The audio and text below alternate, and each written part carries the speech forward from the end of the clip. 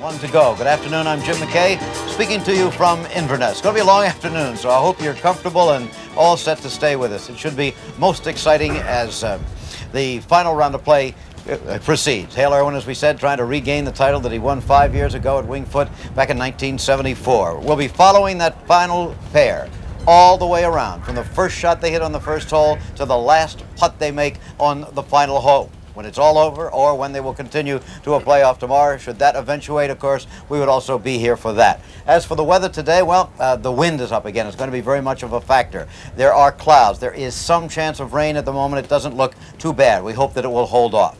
Right now, why don't we take a look at the golf course that we're discussing here at Inverness, ho hosting the Open for the fourth time. Now, the holes in light green that go around the perimeter of the golf course are the front nine. The ones in red are the back nine. As you see, they go back and forth, actually back and forth across a rather deep ravine and into the wind and downwind. That long trek home is really going to be something later on this afternoon. Is it a long golf course? Well, it'll play even longer with the wind, of course, but it's long enough already. It's just under 7,000 yards, as you can see. Par 35 going out, 36 coming back in for a total of 71. And how does that break down? Well, let's break it down a little more for you. Here is a look at the front nine. As you see, there are two par threes and just one par five for that total of 35. As for the backside, it's slightly different, just one par three and one par five. As we said yesterday, a little bit unusual for the Open Championship for a total of 36 and the grand total, as we say, par 71. Well, right now, why don't we bring in our resident expert on the sport of golf, former PGA champion Dave Marr, who played here back in 1957. He was uh, celebrating his 12th birthday at the time and one of the youngest competitors ever.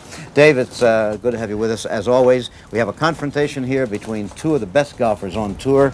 Uh, former British Open champion Tom Weiskopf, former U.S. Open champion Hale Irwin. Is this going to favor either of their games, the high wind here? Jim, they're both, as you pointed out, very good players. I mean, uh, Tom and, and Hale both for the last 10 years have been two of our best players. And part of being a great player is the adaptability. I don't think it favors either one. They've both won major championships. If I had to lean toward one, maybe toward Hale, because at Winged Foot, you had the same sort of greens that you have here. Mm -hmm. Small greens, a lot of hills, the important thing here is the speed.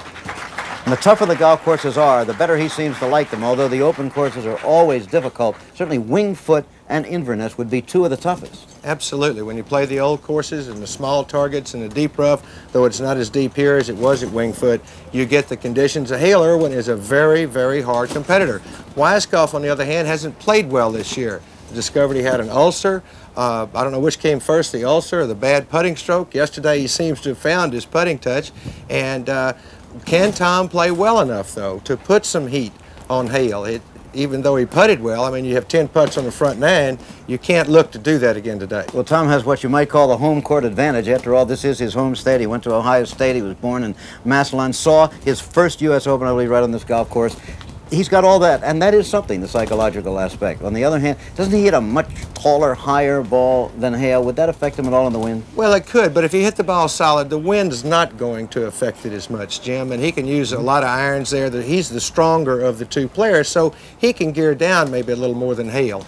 And Hale, to me, is a, a surprising guy. He's a cool customer. Last night we were at barbecue together, and he was there with Sally and his two kids, and I'm going over to breakfast this morning. There he is teaching his little girl about swimming in the pool at 9 o'clock this morning. Now, that's a long time to wait around and go out and play. You can see marking his ball there, which I want to say to the fans is a good idea whenever you go to play. Put a mark on it so you can identify that that is your ball. And of course, this is a live picture right now. A little bit earlier, our man on the fairways, Bill Fleming, talked to Hale. He asked him, what does the U.S. Open really mean?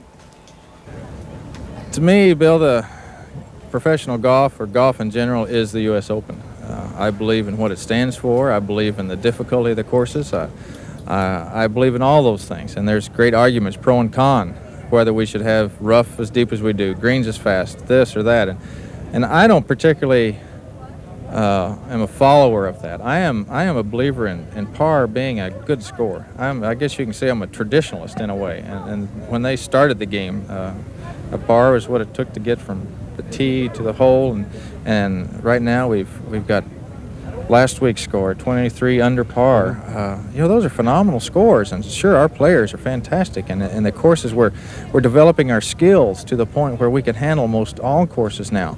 that's why I like to, the trend back to these kinds of difficult courses, getting back to where par is something to be proud of.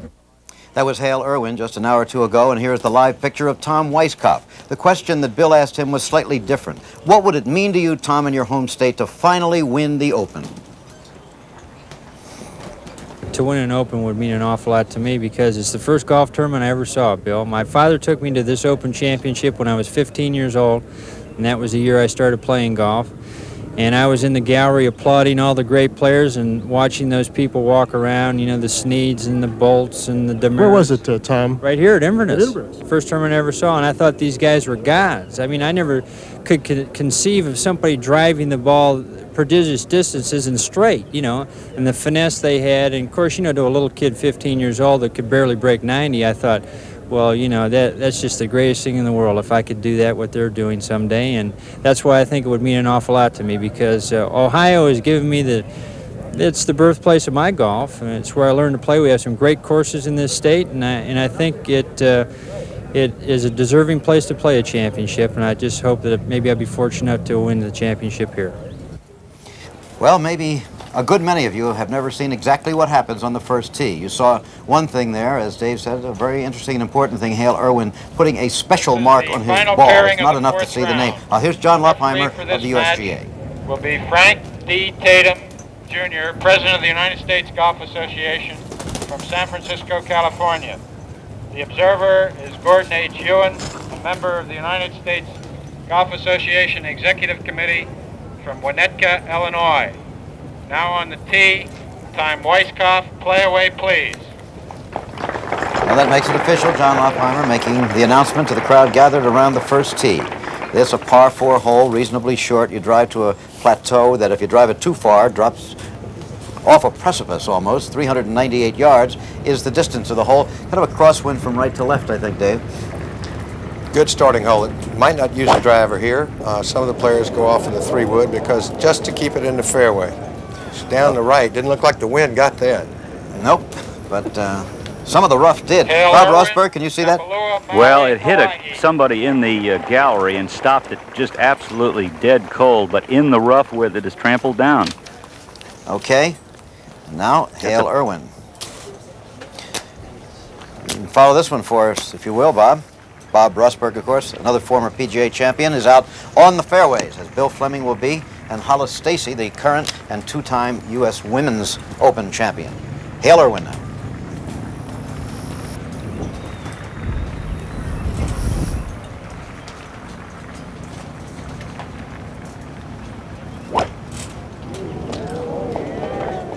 Ball looks a little right.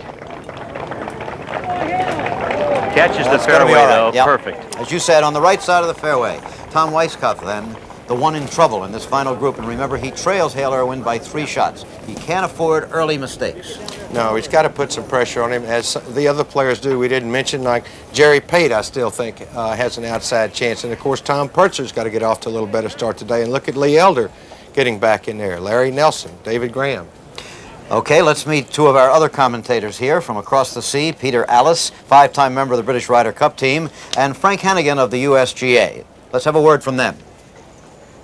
Well, we're into the last day of this year's championship, and I, for one, am looking forward to what may well be the classic golfing confrontation of 1979. Hale Irwin, one of the very best golfers in the world today, against the perhaps unfulfilled but majestic striking Tom Weiskopf, playing in front of his home fans in his home state. One danger, I think, might be for them that they could get into a classic match play situation, and one of the many good players lurking a few strokes behind may just creep in and steal the title. Well, with me today is Frank Hannigan of the USGA, and Frank, it's very noticeable for we observers that on the first day we had nobody breaking 70. On the second day, three players managed that, and yesterday, nine did. Now, what devilish plans have you lads cooked up overnight? Well, uh, Peter, if you see somebody break 70 today, you will have seen a very, very important round of golf. Yesterday, the course was set up very soft. The expectation was that there would be high wind. We saw some great shots and some very low scores. Today, they had a lot of hole locations that they've been planning to use throughout the week that they hadn't had a chance to use. You'll see them today. Places like on the third and the fifth. You'll really warm your heart. If, if your heart is warmed by balls going into water hazards. Well, well, we've got some uh, freshening breeze as well, so I think this is the, going to be the most difficult day. I think it's going to be a fascinating day, and I hope you'll be with us. Tom Purtzer on the first hole. This for a birdie, we are told. There you go. Must have had a great second shot. And that brings him back to even par. Four shots out of the lead. Tom Purtzer, who was tied for the lead overnight on Friday, three shots ahead of this man, Hale Irwin. He was tied with Larry Nelson at the time. Both of them fell back yesterday. Nelson fell back further than Purtzer. Purtzer still very much a contender, particularly with that birdie on the first hole. Well, I talked to him last night, Jim, and he, he just felt like if he could just pull his game together, he'd gotten a bad round out of the way, and it uh, you don't know in a U.S. Open what may happen, especially as windy as it is. No matter how good a player Hale is or Tom is, uh, anything can happen. Okay. There's a look at that hill that drops straight off the fairway there as you come down to a lower level, but then up again to the green. It's very much an elevated green. Bob? Tom has caught an absolutely perfect lie. It, uh, it's just the kind of a break you really need after hitting a tee shot like he did. He's got a very dry lie, Mhm. the kind that you can pinch it off of, and with the flag fairly close to the front and on the left, he's got a good angle to come in from, and he will be able to put something on this ball coming out of the rough. About how long a shot, Rossi? Both of them are about 145 yards. In fact, I don't think they have decided who's away yet. It's very, very close. Both When- drives are reasonably short. Uh, uh, of course, I don't know if Hale went off of there with a driver or with a three-wood, but Tom's ball hit somebody in the gallery on the fly and stopped dead. Tom will be shooting first. When Bob says you can pinch that ball, Dave, why don't you explain that a little further for us? Well, actually, that's bare ground, and you you don't have the usual rough or grass around it. You can catch the ball cleanly, and with the firm ground, you can get a lot more spin on a lie like this than you can out of a fairway, or, uh, of course, any kind of rough.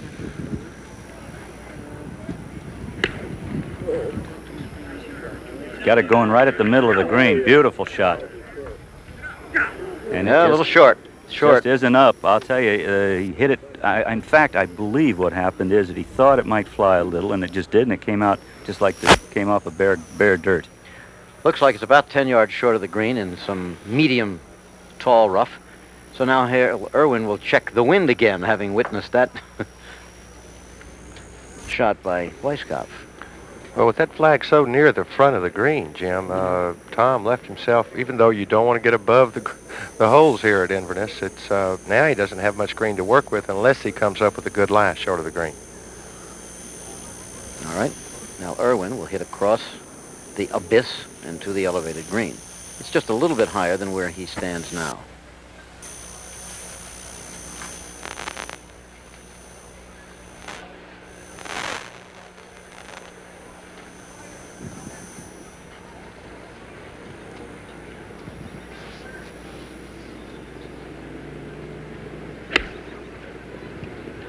Ball's out to the right. See if it comes back. All right. Well, putting surface, but a long way from the hole. And so they have almost reached the green on the first hole, the two leaders. We'll be right back, live at Inverness.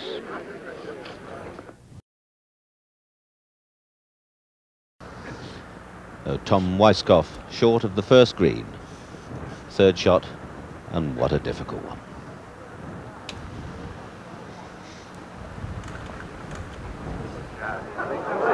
Played it very well indeed. He might, if he had another three or four goes, have got it half as close again, but uh, well played. That's facing a five. We go ahead to the second hole. Tom Purtzer, who started with a very nice three on the first hole to get back to level par. Second shot, this hole, 385 yards. And he's safely on the putting surface. Tom was in some deep rough there, and uh, he looked like he hit that. That's how they stand, and this is the, the final match. Hale Irwin and Tom Weiskopf. And what a battle this really does promise to be. Very important, of course, for Irwin to make a good start. A lot of those um, in reasonable contention have not made a good start. So he's not really been pressurized early on by by players, shall we say, uh, five or six or seven or eight strokes behind him. But very important for him to start with a two putt here.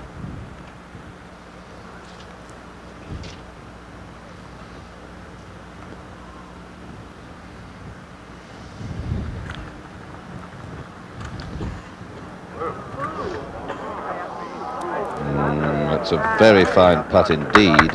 Just leaves him one of those rather horrid ones on the first green when the nerve ends are a little raw. But a good first putt from a long way away. The opening holes here, certainly on paper, look rather kind.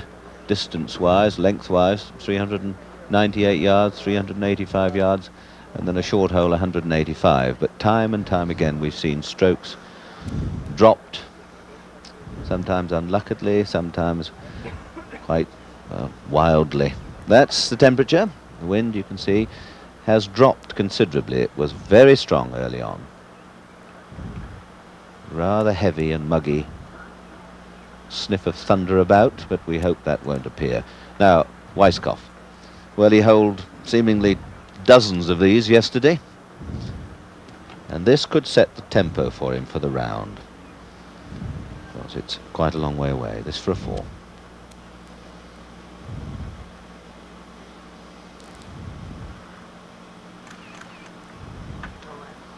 and unlucky.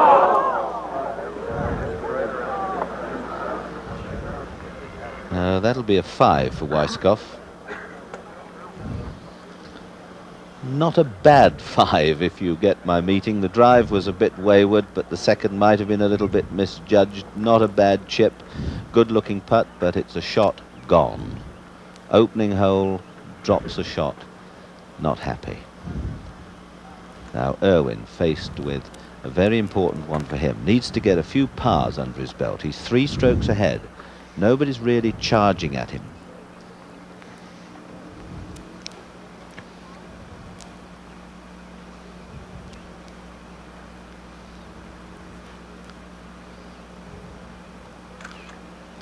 Oh, yes.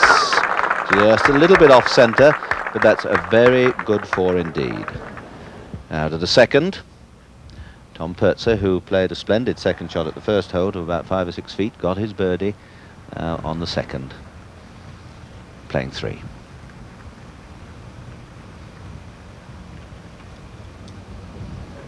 Good speed. How about that? Well, well, well. Having hardly finished saying nobody's making a, a, a really uh, full-blooded run, Purtzer who has had some very adventurous golf over the last three days, opens up 3-3 and is now one under. Let's have a look at that one again. And you, you get the feel of it when the putt's about halfway down, that the speed looks good. If you start looking from ball to hole and judging how it's going to start, and right in the middle. And what a start for Purtzer. 3-3.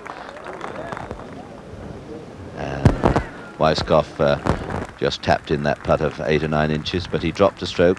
Purtzer has already overtaken him. And the others coming up behind. And Fred Couples was a low amateur. But now here's Hale Irwin. With this match is Bob Rosburg who will tell us uh, how they're looking when they're on their way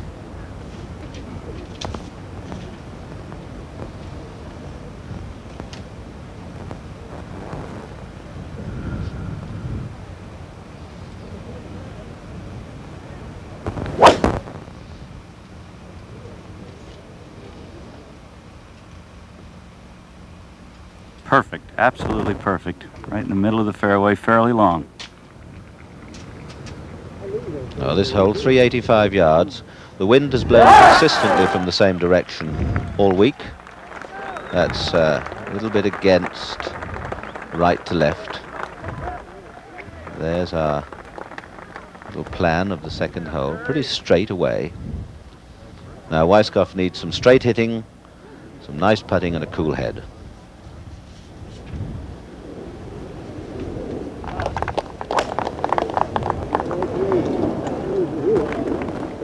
Man, this is a good drive. Right up the middle of the fairway and very long.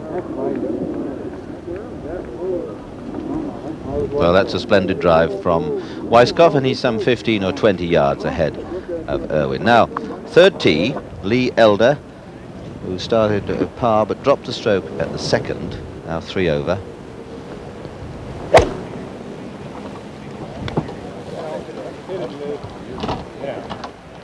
And that's a good shot. And you can see that pin in, not one of the easiest positions that I've seen. That great cheer, incidentally, we heard just uh, a few minutes ago was Jerry Pate, who uh, Dave Marr is very keen on. He got a birdie at the second, so we've got lots of good stuff to come up, and we'll be here to bring it to you.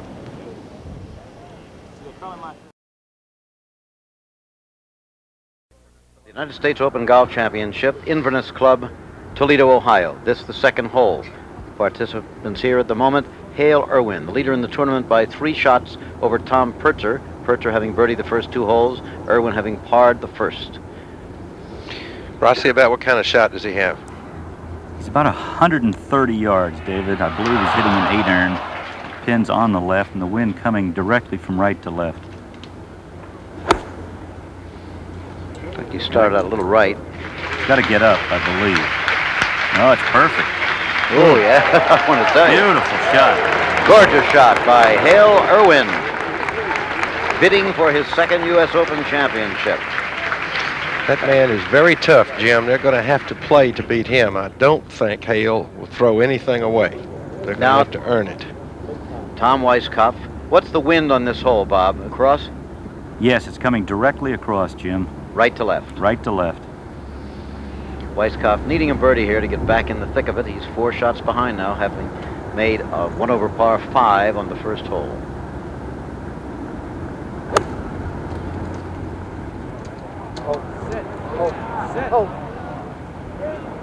Very, very long, Jim. Yeah. Completely over the green on the fly. That sort of thing is the exact opposite of what Tom needed to get off to a good start here today. Trailing by three, he really had to pick up a shot, perhaps, in the early going, instead of which he's going the other way. Well, that's one thing that makes Inverness uh, difficult. Small greens, as you see how the players stand there. Have you ever seen a gallery give a tremendous ovation to a man in the process of shooting 80 or 81? Well, that's what happened here just a few minutes ago. This, of course, was the man. Arnold Palmer being welcomed at Inverness.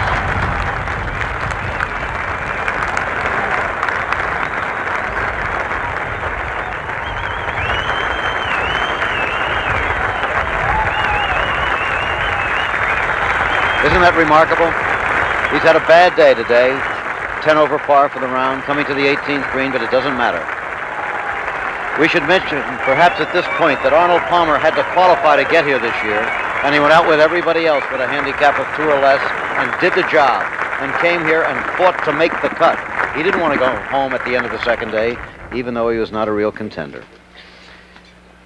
There are the standings then. Irwin by three over Tom. Purtzer, who's off to that hot start. Weiskopf and Jerry Pate now even. Pate having birdied the second hole. Some of the others who are lurking in the background. Gary Player, you can never count him out. Fred Couples, by the way, shot 302 total strokes for 72 holes to become the low amateur. The three amateurs who made the cut all have completed their round, so he will win a gold medal and an automatic exemption for the United States Amateur Championship this year. Congratulations to the young man from Seattle, Washington, and the University of Houston. It's always a great honor, isn't it, Frank Hannigan? Oh yeah, it certainly is. It's a great thrill for young Fred. He grew up playing on a uh, municipally owned golf course, Jefferson Park in uh, in Seattle, Washington. He tied for the Southwest Conference uh, title this year, and part, if you happen to win it, part of it was an exemption to Colonial, and the man that he tied with, or the youngster, was a senior, so Fred said, why don't we play off? And so one of us gets to go, and he lost the playoff, which was a great sporting thing for him to do for the senior. Here's the third hole, Tom Purtzer. A look now at the crowd gathering around 18, but this is 185 yard par three with a little water hazard there. This is one of the new holes put in by George and Tom Fazio. Yeah. Good shot. All right, look at it draw back. We certainly have an opportunity. Least, another birdie. See the flag being whipped there? When uh, Peter said a while ago the wind had come down from what it was, uh, we don't mean, mean to mislead you. It is not weak at all. Matter of fact, the wind even now is considerably stronger than it was yesterday. And, it, and you're with the wind on that hole. We watch it, Weiskopf here with his third shot at the second hole. Which is a par four, so Tom in trouble at the second after having made a bogey at the first. These, to me, are the hardest shots to try to play when you're a little bit nervous.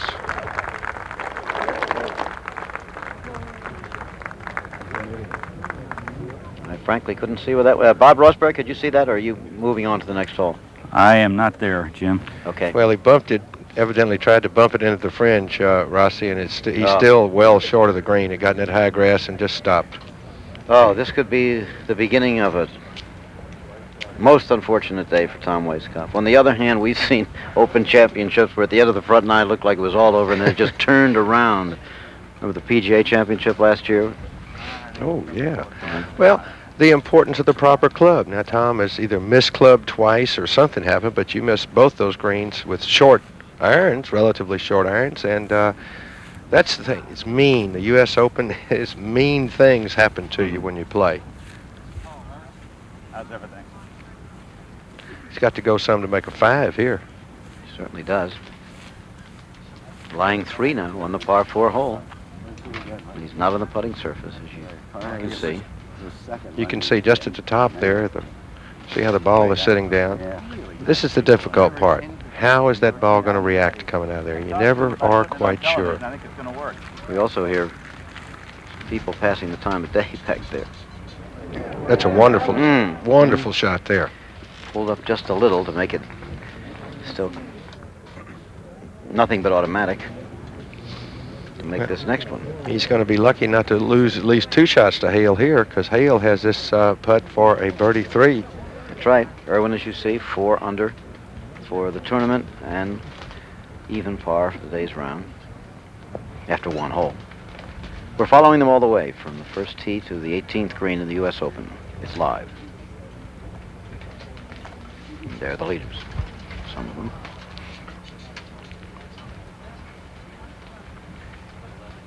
Irwin made a very good putt for a par on the first hole, if you've just joined us. This looks like about the same length. Mm-hmm. Golf can be funny. If you miss that first one, then this one looks more difficult. Now, you made the first one, now you've already made one, so you're not on a blitz at this point. Touch of loose grass. Um, as You know, see, that's what I, I would think he'd step away there. Remember when Sanders didn't step away that time at the British Open? Mm-hmm. Step back and then gather yourself again and go up and address the ball and putt it.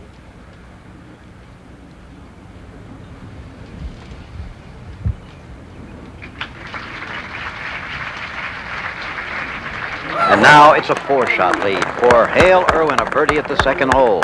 He goes to five under for the tournament, one under for the day. Up ahead of him, Tom Purtzer, who is still red hot, remember, having birdied the first two holes, but he's got a four-shot lead on Purtzer. There. Now, let's go to young Tom. Purtzer at one under, started the day one over. He'll be attempting his third consecutive birdie of the day. You had a little talk with him last night. You kind of settle him down a little bit, Dave? Well, I just didn't want him to be discouraged. He's such a nice young man, and I, I just said, come on, you still have a chance to win. The bad round's out of the way. Now, now go out and play golf like you can play golf. Mm, my. Ooh. Not too far off. Tom Weiskopf got his bogey five at the second hole. Now drops to one over par.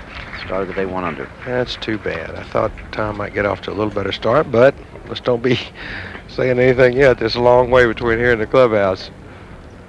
How often have those of you at home who are golfers started off winning the first two holes and losing the match? Almost as often as not. Yeah, but you can press, Jim. You can start a new bet. This is just all. True. Jerry Pate, some of the statistics on him. Jerry has picked up one birdie today. He's an even par. Third place, five shots behind. What a great golf swing he's got. He's just a marvelous player. And he got a little idea too about that break here at the hole. It just Purchase broke very sharply to the left.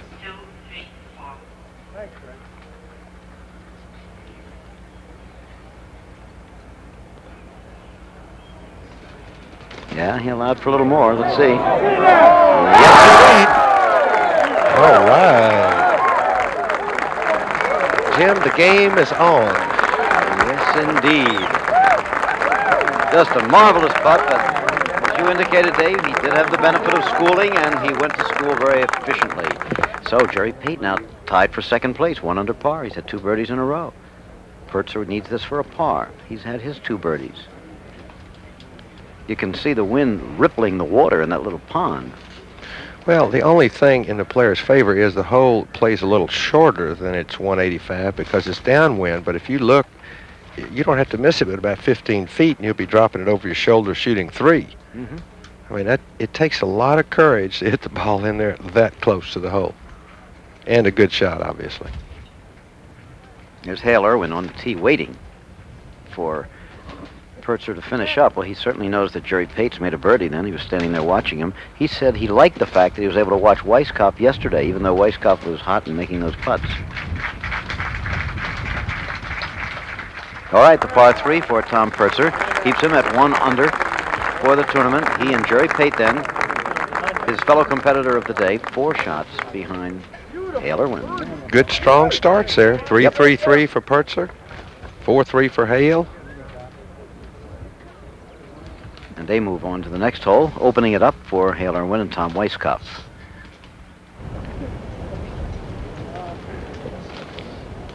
Hale with the wind at his back, remember? One thing he's, one thing you know he's thinking about is you must not miss this shot to the right, no matter what you do. That is a big gallery when you figure there are a lot of other people with other groups still at this point in the competition.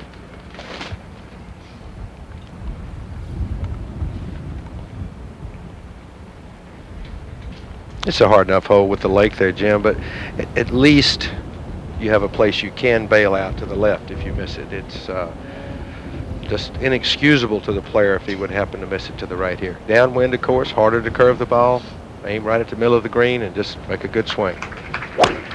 185 yards downwind. There it goes. I heard somebody holler bite, and he's going over. Back left. Well, that's where you got to go. Uh, look, man has a four-shot lead. You, you, you can make a few mistakes. You can't start to play safe. That's too early. Too, Wind still whipping the flag. As Tom Weiskopf will have his turn, and now he must wonder how much club to use. Bob Rosburg, do you have any idea what clubs they're using there?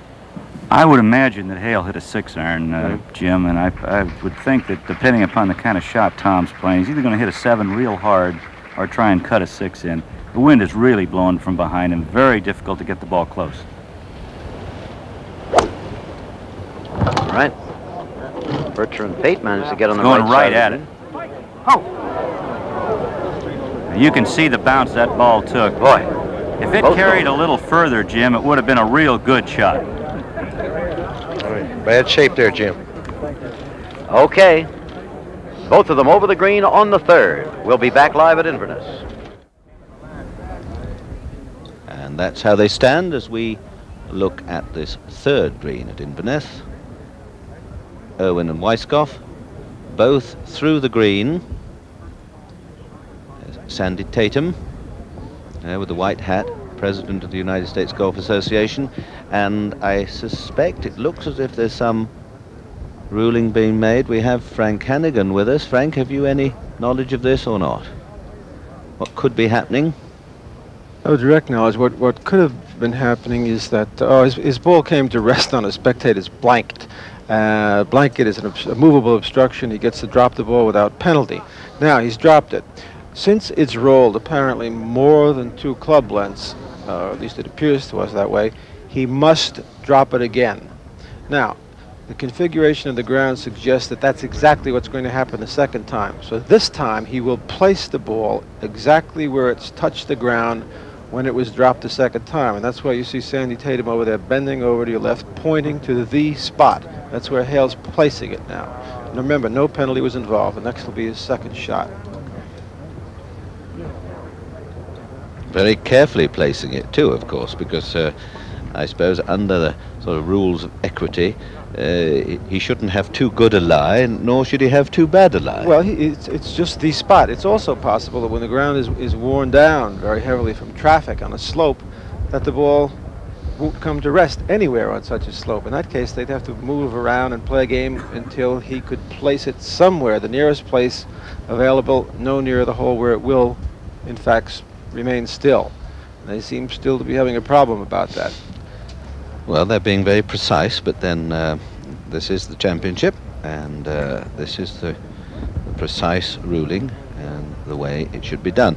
Looks as if they've now got the ball back on the ground, and it's staying put.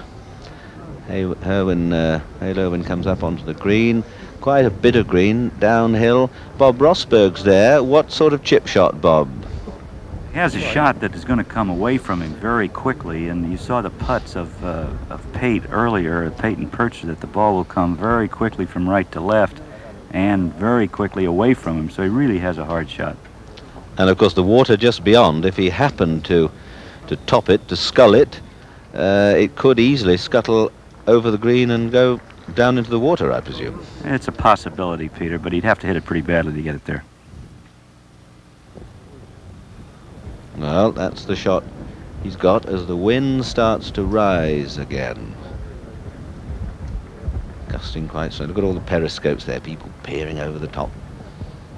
As Irwin decides now whether he's going to just pitch it short and let it ease its way over the top of the hill. Remember yesterday from, from over the back of this green, not so far away, he actually chipped it into the hole for a two. Well, he'd be very happy with a three today.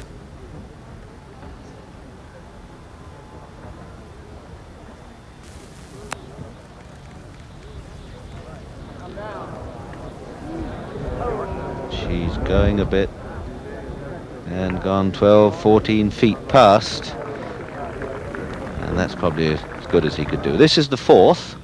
Tom Purtzer. Started 3-3-3.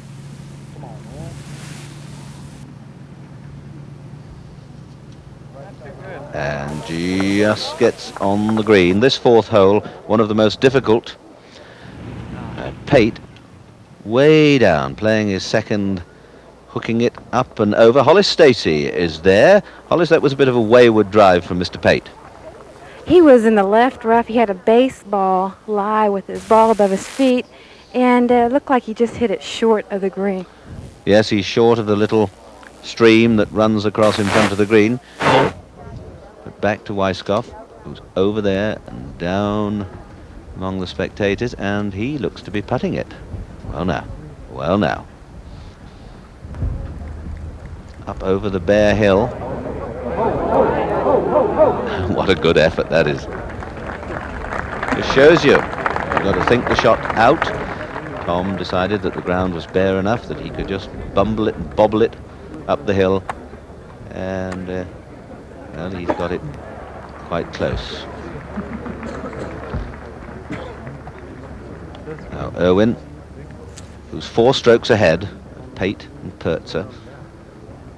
Just lining up his uh, 12 or 14 foot putt for a par. And this course already taking a tremendous toll on some of the players. Rod Funseth, a very fine player indeed, took 45 strokes for the first nine holes, and he was only eight over, suddenly 18 over.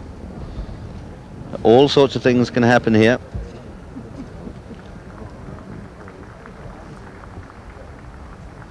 Jack Nicklaus putting in a rush. He's uh, three under today, but of course was 10 over yesterday, back to seven over. But this is the leader, Hale Irwin, putting for a three on the third.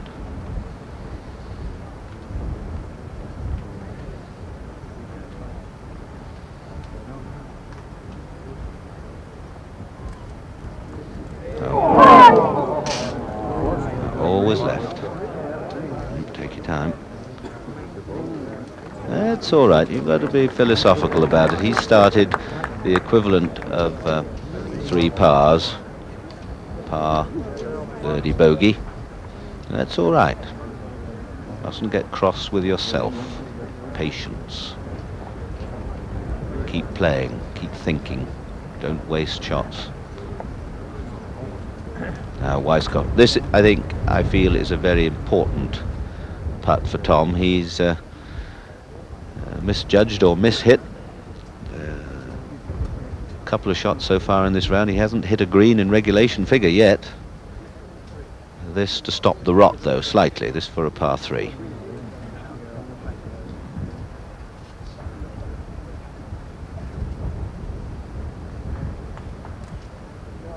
Yes, well done.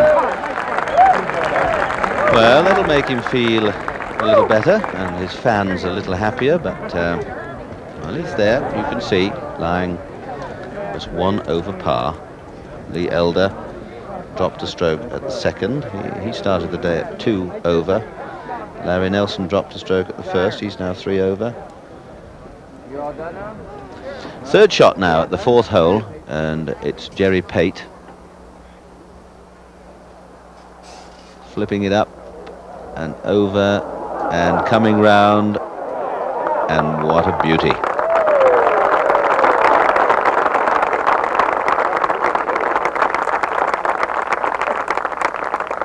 Chance for his par four. That's the hole. You see the bunkers down the right. Elevated green. There's the tee then they drive through the trees up into the into that area. And a longish second. This holds 466 yards uphill and takes a good iron to reach it. Now there's Irwin and Weiskopf quite a good walk back from the third green to the fourth tee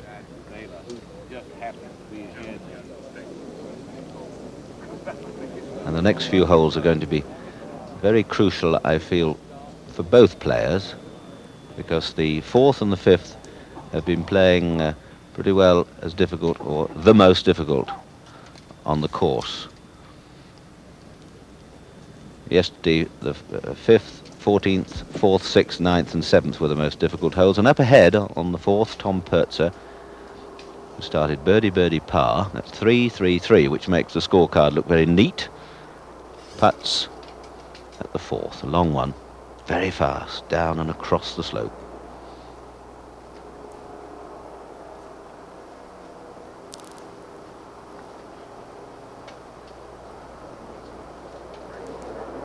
Looks to have a good touch. He couldn't do it again. well, well, well. Well, he just adds another three to the score. And if he keeps doing that for about another 14 holes, well, we really will have something for the record books, Frank Hannigan. That's a pretty good start for the young man who was a bit wild yesterday, but my word, 3-3-3-3 today. 3-3-3. It reminds you, you know, it's very, on Irwin, it's very... Just watch it again, Frank. You, you watch it this time, see what you think of it. Good pace. It looks slow. It comes down, gathering speed, and then suddenly disappeared. It hit the hole. it hit the hole and disappeared, and what a start for the young man. Well, Irwin watched Weiskopf yesterday battling away and holding putts all over the place, and looks as if he's in the same sort of situation today.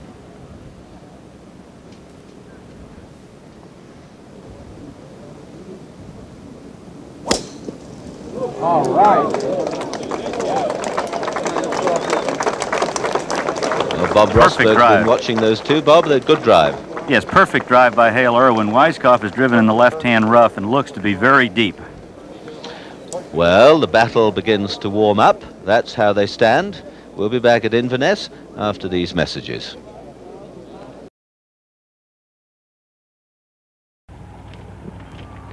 We're covering them from start to finish at the U.S. Open, and now the leader, Hale Irwin, is on the fourth hole, a 466-yard par four.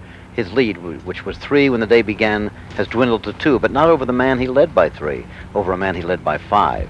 Irwin now by two over young Tom Purtzer, who has had threes on all of the first four holes. constituting three birdies and one par. Now Irwin with his second shot. That how far away is he, Ross?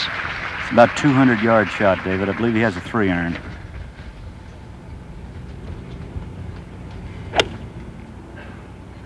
Against the overcast sky, no immediate threat of rain yet. Could come later. Beautiful shot, right in the middle of the green. Yep. It looks to be just a little bit inside of where Tom was, where he made his putt a moment ago. Tom Purtzer. Mm-hmm. Tom Weiskopf, meanwhile, in in trouble on this hole.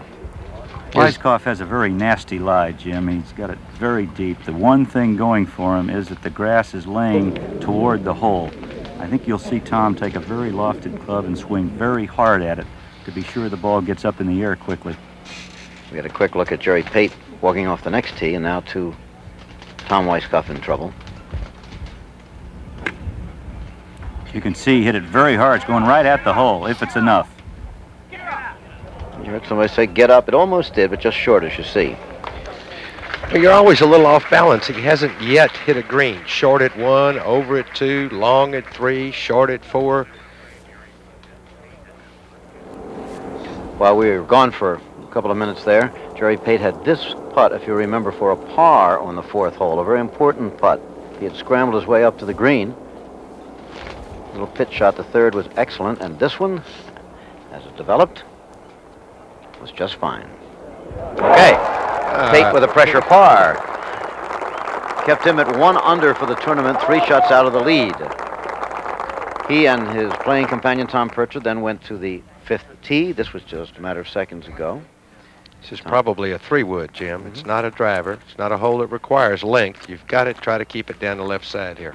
It's another one of the new holes, 401 yard par four with a creek along the right. There it is on the fairway. Looks perfect.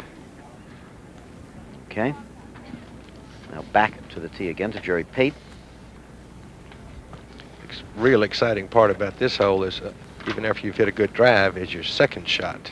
We'll get a look at that shot in a minute. Pate, former U.S. Amateur champion, former U.S. Open champion, and he's still only 25 years old. Seemed to have lashed that one from the outcries in the gallery, but he lashed it left, as you little, see. little too far left in his effort to keep it left. Overdid it. Now back to the live picture on the fourth green, where Tom Weiskopf is surveying his situation. Remember, he came up a little bit short here. On the last hole, he used a putter from way off the green. You think he'll use it here? I don't think so, Jim. He's got a little bit different kind of shot here. Right. Before he was on the bare ground, putting up over hill and then downhill. This uh, chip, a little bit more in his favor. He's sitting up. It looks all right. And, of course, he's pitching up the hill. So he'll take some lofted club, probably an 8 iron, 9 iron, or wedge, and play the shot. His third shot on the par four hole. Weiskopf now at one over for the tournament, two over on today's round. He's five shots out of the lead. It's Irwin by two over Purtzer, by three over Pate, by five over Weiskopf.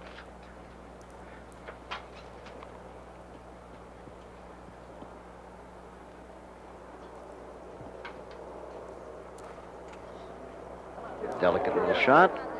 Mm. Now Tom Purtzer, back live with him. You saw his tee shot on the fifth hole. Hollis Stacy is with that group. Is that wind still whipping up out there? Uh, the wind is really whipping up right here, and I've seen the last two groups go by, and, it, and it's just blowing it from right over the pin to the left side of the green. So he's going to have to hit about a four iron and aim right of the green. Well, you know, Hollis, what the Scots say. They say if there's nae wind and nae rain, there's nae golf. Well, we don't have the rain, and we're ho hoping we don't get it, but we sure have the wind, and it's an innate part of golf, isn't it, Dave? It certainly is, and, and it'd take a lot of nerve to aim out just in the right-hand side of your screen is a lake, and, and if he's going to aim out there, which you have to do if you're going to knock the ball close to the hole. Yeah, you can see it with the flag blowing right to left. You can get the whole picture. It looked as though it started left, though. Mm-hmm. Yeah, he did, I'm sure he didn't like It's that. going left. And the wind will take it further left, of course, and he is off the green. There you see the ball right there, right where that marshal in the yellow shirt and the yellow pith helmet is standing. Now back to Hale Irwin. This is his attempt at a birdie on the fourth hole. The tournament leader leaving himself quite, quite a little number coming back.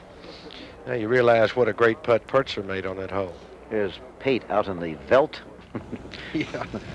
up over his shoes. Little better angle to come in, but you've got to be sure the ball doesn't squirt too much, and that looked as though it started left. Hollis, did It's it? going left. He was in some deep rough, and it, it's in the left bunker. In the left bunker is Jerry Pate. Just when he was going along very well. Well, if you make a mistake, you can't go right there. There's where the water is. That's a quick six. This way, you probably won't make any more than five if you make a mistake. So Hale Irwin is probably not aware of the fact that the two closest pursuers are in trouble up ahead. He's, they're not within sight of him at the moment. Tom Weiskopf needs this, as you see, for the par. Scrambled on the last hole, scrambling again. Hit it. And again, successfully. All right. Par four for Tom Weiskopf, keeping him at one over, two over on today's round. Five shots behind, but there's such a long way to go. Remember, normally uh, you aren't watching golf tournaments at home where there are 14 holes left to go. It's usually three or four. 14 uh, holes with, filled with terror. That's sheer stark terror. Now Irwin must make sure of his. Well, he has an idea. He's not on the same line that Tom Weiskopf was on, but basically down below the hole, the ball shouldn't break too much. Just keep it in the right side, hit a solid putt. And so he remains just about All right. in what our well-remembered departed colleague Henry Longhurst used to call the tradesman's entrance. always remember. Yes. Well, there you see the lead at two shots for Hale Irwin over Tom Purtzer, three over Jerry Pate, but Purtzer and Pate both in trouble up ahead on the fifth hole. Some of the other players who still hope to get something going. Gary Players still in there at plus four. Fred Couples once again was the low amateur. The three amateurs who made the cut are all in, and he was the low. Now back up ahead on the fifth.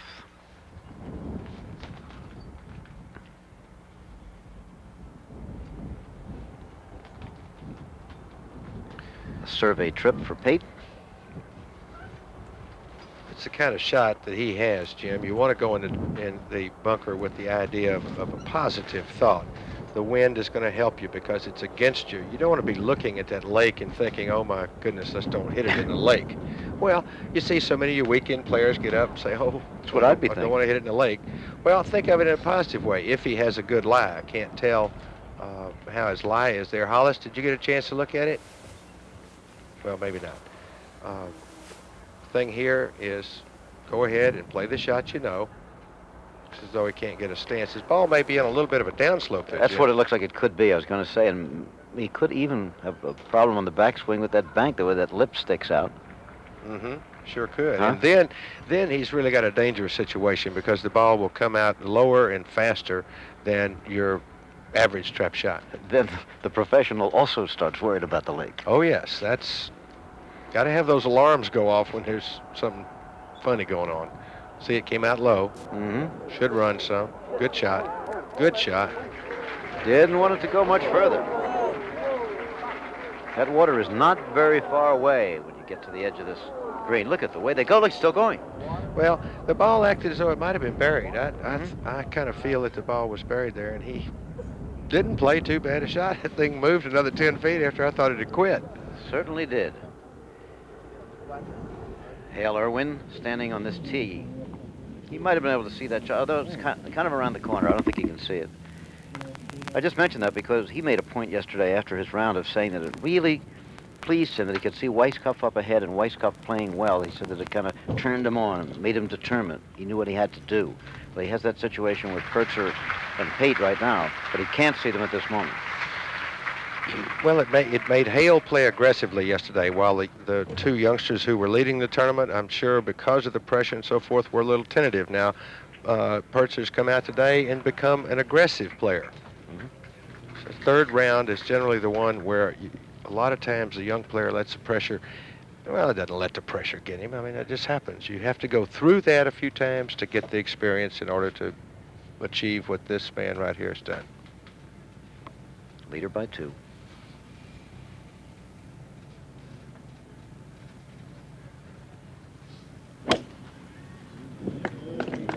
And he has cut it right down the middle of the fairway. It's just a beautiful drive. Coming right on the corner. Well, just in the in Just the edge of the rough, but it looks like a good lie, doesn't it, Bob? Yeah. The gallery streaming along. Here is Lon Hinkle. Lon Hinkle was the man who became famous by finding a short way home on the eighth hole. Remember playing over the 17th fairway up over the trees and back, and thereby inspiring the USGA to put in a brand new 25-foot spruce tree, whereupon he went over a couple more times. Lon Hinkle, who comes in today. He did not have a, a, a very good day. As a matter of fact, 10 over par, 81, we're told. you keep trying to go against that spruce there at the eighth hole, you might shoot a million. That's right. He kept doing it even after they planted a tree. Yeah. Huh. Hinkle's spruce. Okay. Jerry's ball ran against the taller part of the fringe there, Jim. We'll see. Leaves you an awkward sort of shot because you don't know whether to putt, to chip. Let's see what Jerry does.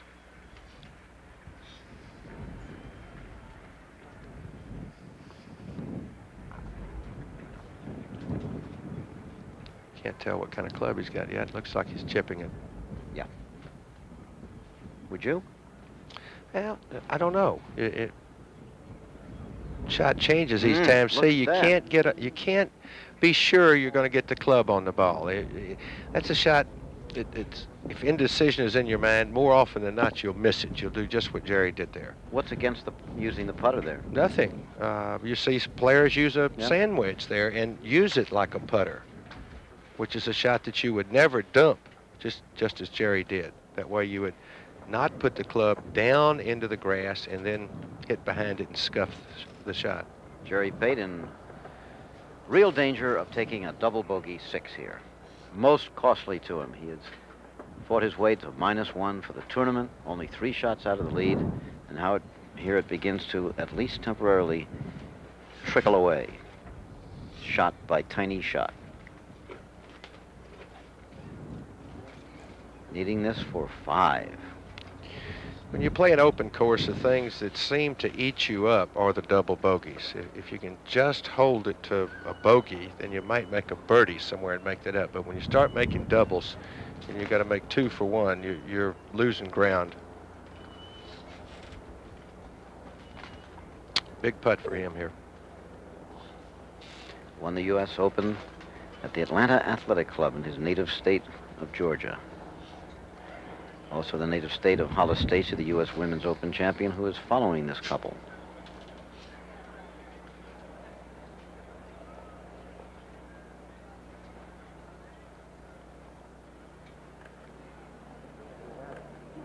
Little left. Oh.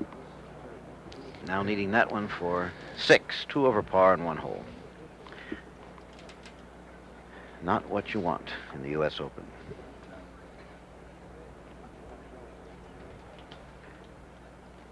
You get to the final round of the Open, sometimes it almost seems there's an unseen force that sort of decides when the screws shall be tightened, when to let them run a little bit.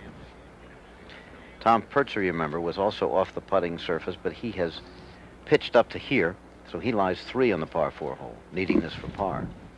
Meanwhile, out on the fairway, Hale Irwin and Tom Weiskopf can only wait. Two tall figures there on the fairway, both built very well for this game, willowy and yet strong men.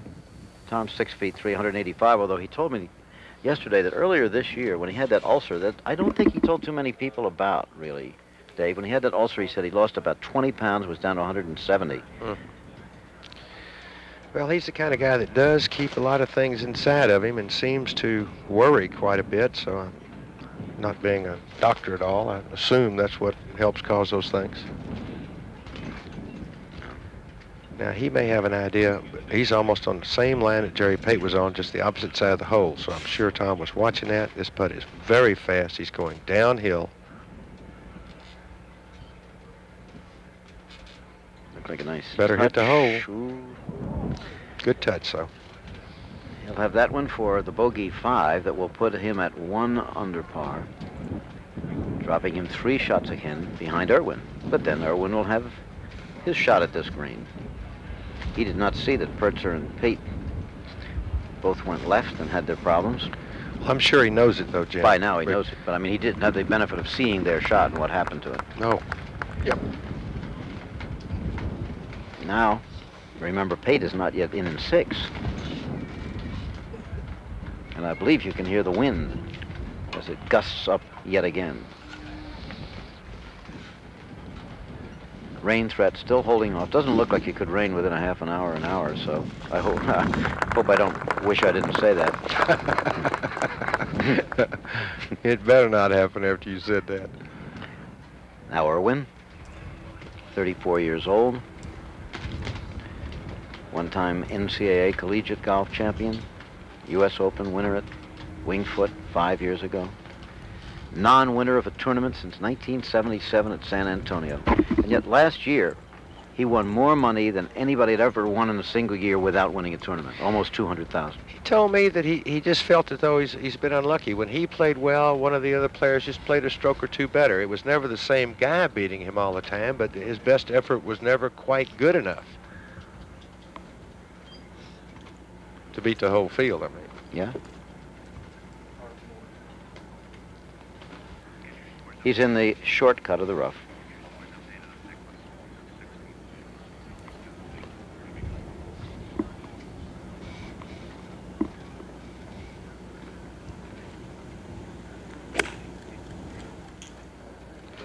Looked as though it started fairly straight.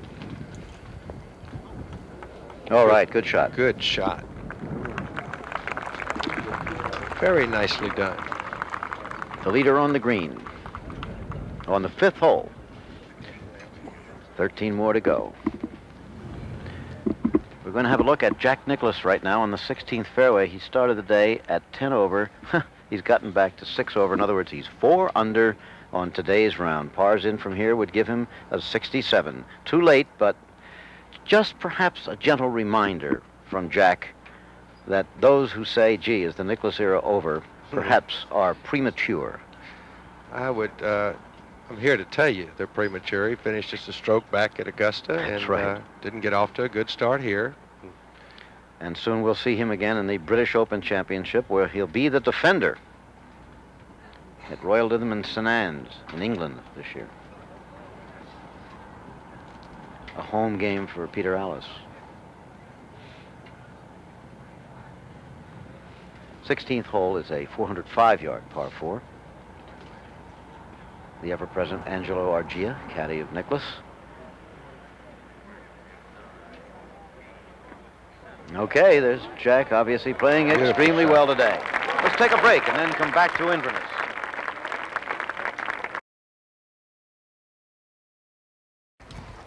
Well, the fifth green, and Tom Weiskopf once again has failed to hit his second shot onto the prepared surface. Over the back, just kneeling down. There he is. And once again, the old trusty putter comes out from just off the green.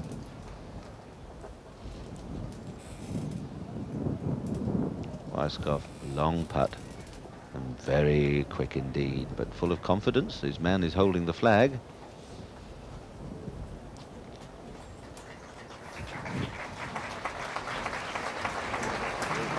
Good speed. Oh, look at it quicken up though and go by six feet. Now the sixth and Tom Purtzer in sand off the tee. This six hole just 200, 205 yard.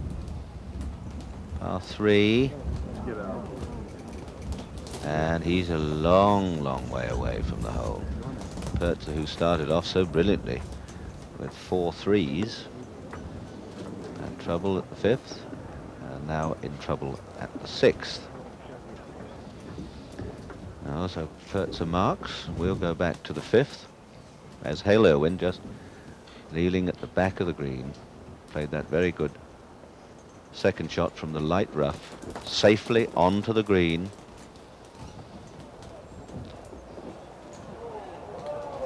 If you can get on the greens here at Inverness, basically you're never far from the hole. Certainly if you could drop your ball down in the middle of every one of these greens. You'd uh, be having, of course, a very accurate round, but you would not be very far from the hole. This looks a pretty quick one as well.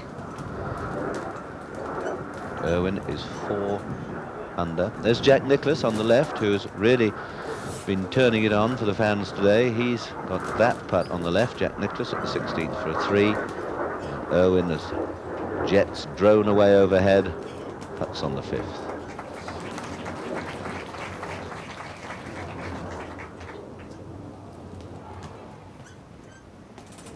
There's Irwin's on the way, beginning to turn, coming round. Will it go? Will it go? Will it go? Just half an ounce more. And it would have been right to the hole. Now Nicklaus on the left. That familiar style. Aimed it well left. Will it turn? No, overborrowed. Turn too late. It looks like a par four for. It's four under par for today's round, six over for the championship. So Irwin, three ahead of Purtzer. Let's hear, have a word now from uh, Jim McKay behind the 18th green. Well, Peter, we're well aware that today people will be coming in late, perhaps leaving us for a little bit, coming back again. So we're going to try to give you periodic updates. If you've just joined us, it's a, an overcast day, but there's no immediate threat of rain. It's hot temperature in the mid-80s now. It's gone up a bit in the last hour again. And it's very windy, windier than yesterday, just about as windy as it was here on Friday. Now, the leaders teed off the last pair just about an hour and 15 minutes ago. At that time, uh, it was Hale Irwin with a three-shot lead over Tom Weiskopf. Well, right now he still has a three-shot lead, but not over Weiskopf. Young Tom Purtzer, who started the day at one over par, as Peter indicated, birdied three of the first four holes. He started off with four threes, one of them being a par three, of course, and uh, crept to within two shots of Hale Irwin. Now, however, Irwin back again by three over Purtzer by five over Jerry Pate and Tom Weiskopf. The other leaders you may be following, well, they're playing rather steadily. Uh, people like Lee Elder and Larry Nelson still at three over par, Gary Player at four over par, on down the line. Now, Jack Nicklaus has crept up to six over par and is on the leaderboard. Irwin for the par now. Weiskopf already has his on the scorecard, or in the process of being put there. Nicklaus did par the 16th, remain four under, and look at this, look at this. Now the leader has faltered. He'll now need that for a bogey five. He had a good opportunity at least, at a birdie here, hit the green very nicely in regulation. But these are the greens of Inverness, just as fast as they could possibly be without being totally unfair.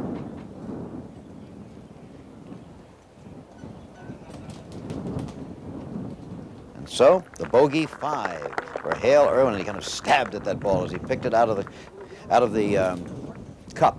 Well, that drops him back to three under par, and his lead has now shrunk to one to two over Tom Purtzer. But Purtzer, as you know, is in trouble up ahead. I think that kind of brings us up to date pretty much on the United States Open Golf Championship. We have a long way to go, two hours and about 35 minutes, or to conclusion. We don't have to worry about the time. Of course, we'll be here until it's over. Back to you, Peter. Thank you, Jim. And this is Purtzer on the sixth green. This is for a four, a one over par four. That's safely done, but a stroke dropped by Purtzer, who uh, goes back to level. Well, there's lots more good golf to come, and we'll be here following it. And don't go far away. We'll be back.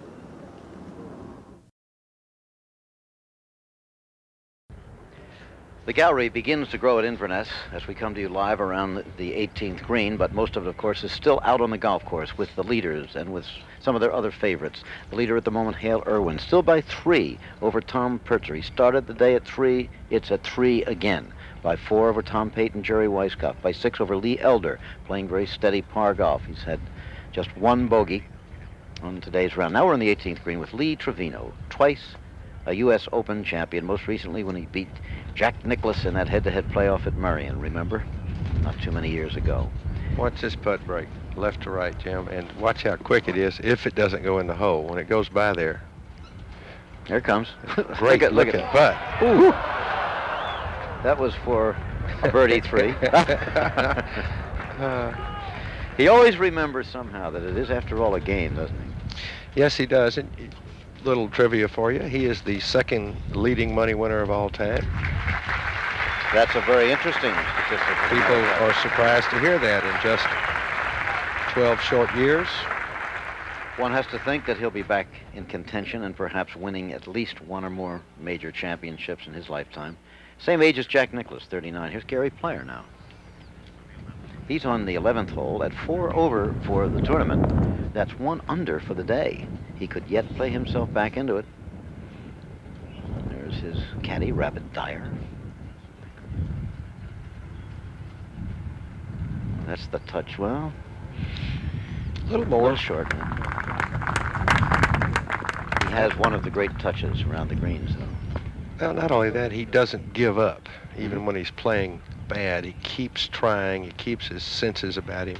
And that saves a lot of shots rather than getting angry and looking back. I mean, that's history already. He keeps looking ahead. And here is Tom Purtzer. Tom Purtzer, 27 years old. On this Father's Day, he is one, the only one of the leaders, I believe, who is not a father. And uh, married, however, and here is a man who is the father of a good many. Jack Nicklaus, second shot on the 17th hole. He is four under for the day. The 17th hole, another of the long par fours here, 431 yards, but you hit down to the green on 17. Great hole, severe green here. If you go by the hole, it's maybe the fastest green here. 17 or 18, one of them's got to be fastest. Okay. Coming down towards the 17th green. And I believe he's found trouble. I don't know whether he went in that bunker or in the longish grass. But there was a definite groan from the crowd. It's not in the sand, so he's gone in the rough. Somewhere around the 17th green has Jack Nicklaus, but now back to Purtzer again. As we said, in second place at even par. The first two days here, he was all over the golf course, and yet scrambled his way to a tie for the lead with Larry Nelson. Yesterday was all over the golf course again, and it caught up with him. He dropped back. Today, he's hitting the ball much straighter. I think Hollis Stacy is out there. Hollis, have you had a chance to look at Tom's line in the rough there? I sure have. He's driven it in the left rough, which is the toughest rough on the golf course. He's got about a seven or eight iron. Playing conservatively, he'll just be playing for bogey here.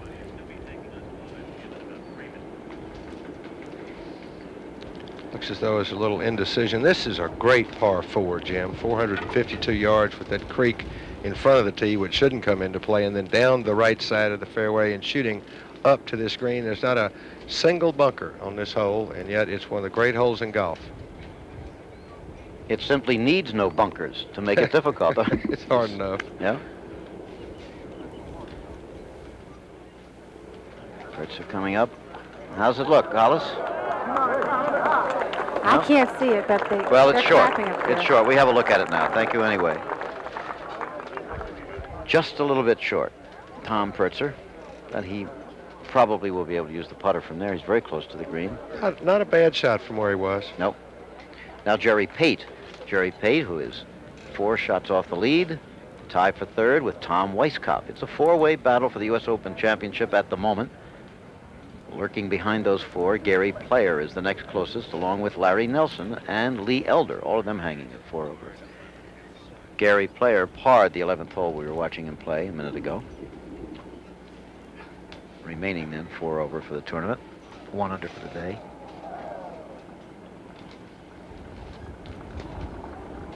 Pate.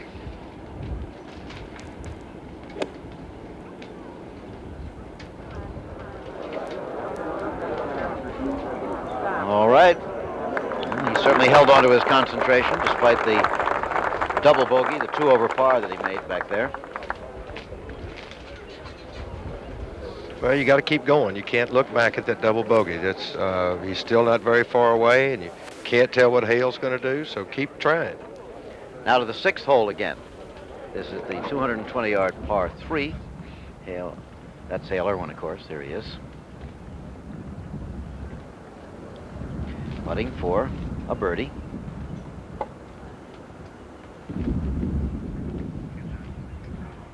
You hear the wind noise. Now, the putting touch doesn't seem to be quite what it was on the first couple of holes for Hale, and it does tend to come and go like that.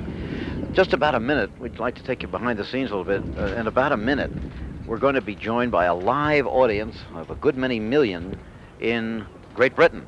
And when that happens, you'll hear Peter Alliss come in and say something like, you know, well, here we are, and so forth. He'll be opening the program for the BBC. And of course, they'll be with us all the rest of the way. Very glad to have them, as we did yesterday.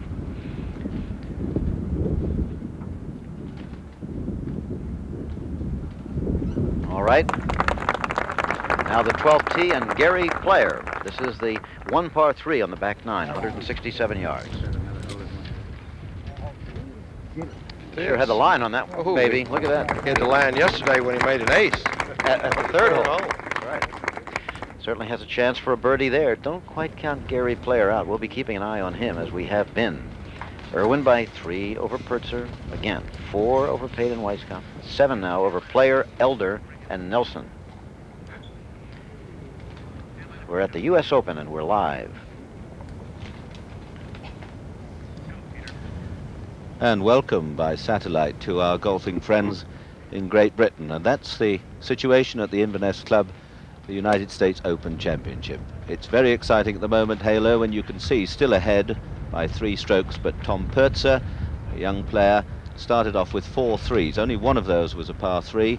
That really did get things going. Jack Nicklaus uh, coming back to form. He's uh, four under par at the moment, although he started the day at 10 over. There's much, much going on here. Fred Couples was the low amateur, so he gets the gold medal and he will automatically get exemption into the amateur championship. It's hot, it's muggy, there has been a threat of thunder. It's very exciting. A marvellous crowd here and a feast of marvellous golf. Here's Tom Purtzer.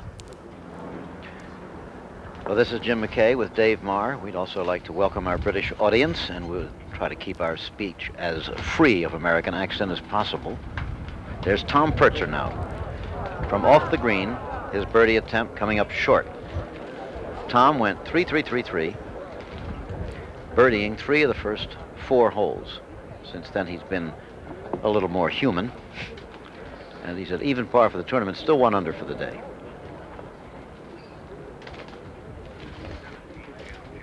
If you're not familiar with Tom, now we'll be back to him. Let's go to Jack Nicklaus now, needing this for a par on the 17th hole to stay four under for the day and six over for the tournament. A round of four under would be 67 and would tie for the low round of this championship. 67s were turned in yesterday by Hale Irwin and Tom Weiskopf. This tournament is sort of uh, typical for Jack in the last few years, with the exception of his win last year at the Open, uh, in that he seems to play only on one day a week, on Sunday afternoon, it seems. Always on Sunday. Just sort of indifferent uh, scores, Thursdays and Fridays.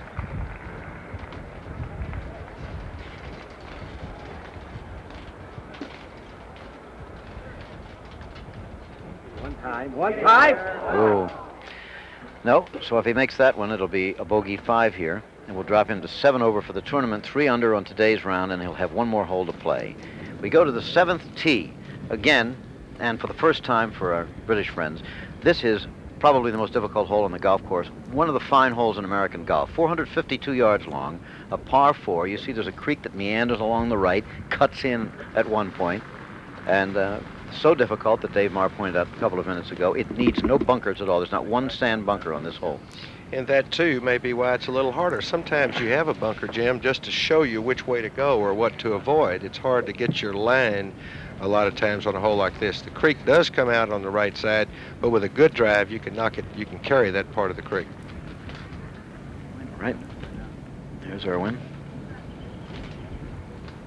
Even par for the day. Excuse me, one over for the day. Looks a little left. Rossi? Yep. Yes, that ball's way left in the very, very deep rough and quite short. It's funny, the wind has turned around just in the last couple of minutes and is actually blowing into the players. Ooh, well, that brings that uh, creek into play then. Yes, it sure does. Again, to continue to identify our commentary team for our overseas viewers who've just joined us, that was Bob Rosburg, who's out on the fairway. He's moving along with this pairing of Weiskopf and Irwin. former PGA champion himself. Weiskopf apparently three putted the last hole. He was on the green a tremendous distance from the hole, but since he's shooting last, he must have made bogey. Yes, he's two over now. We are just going to report that. He's hit a good drive here.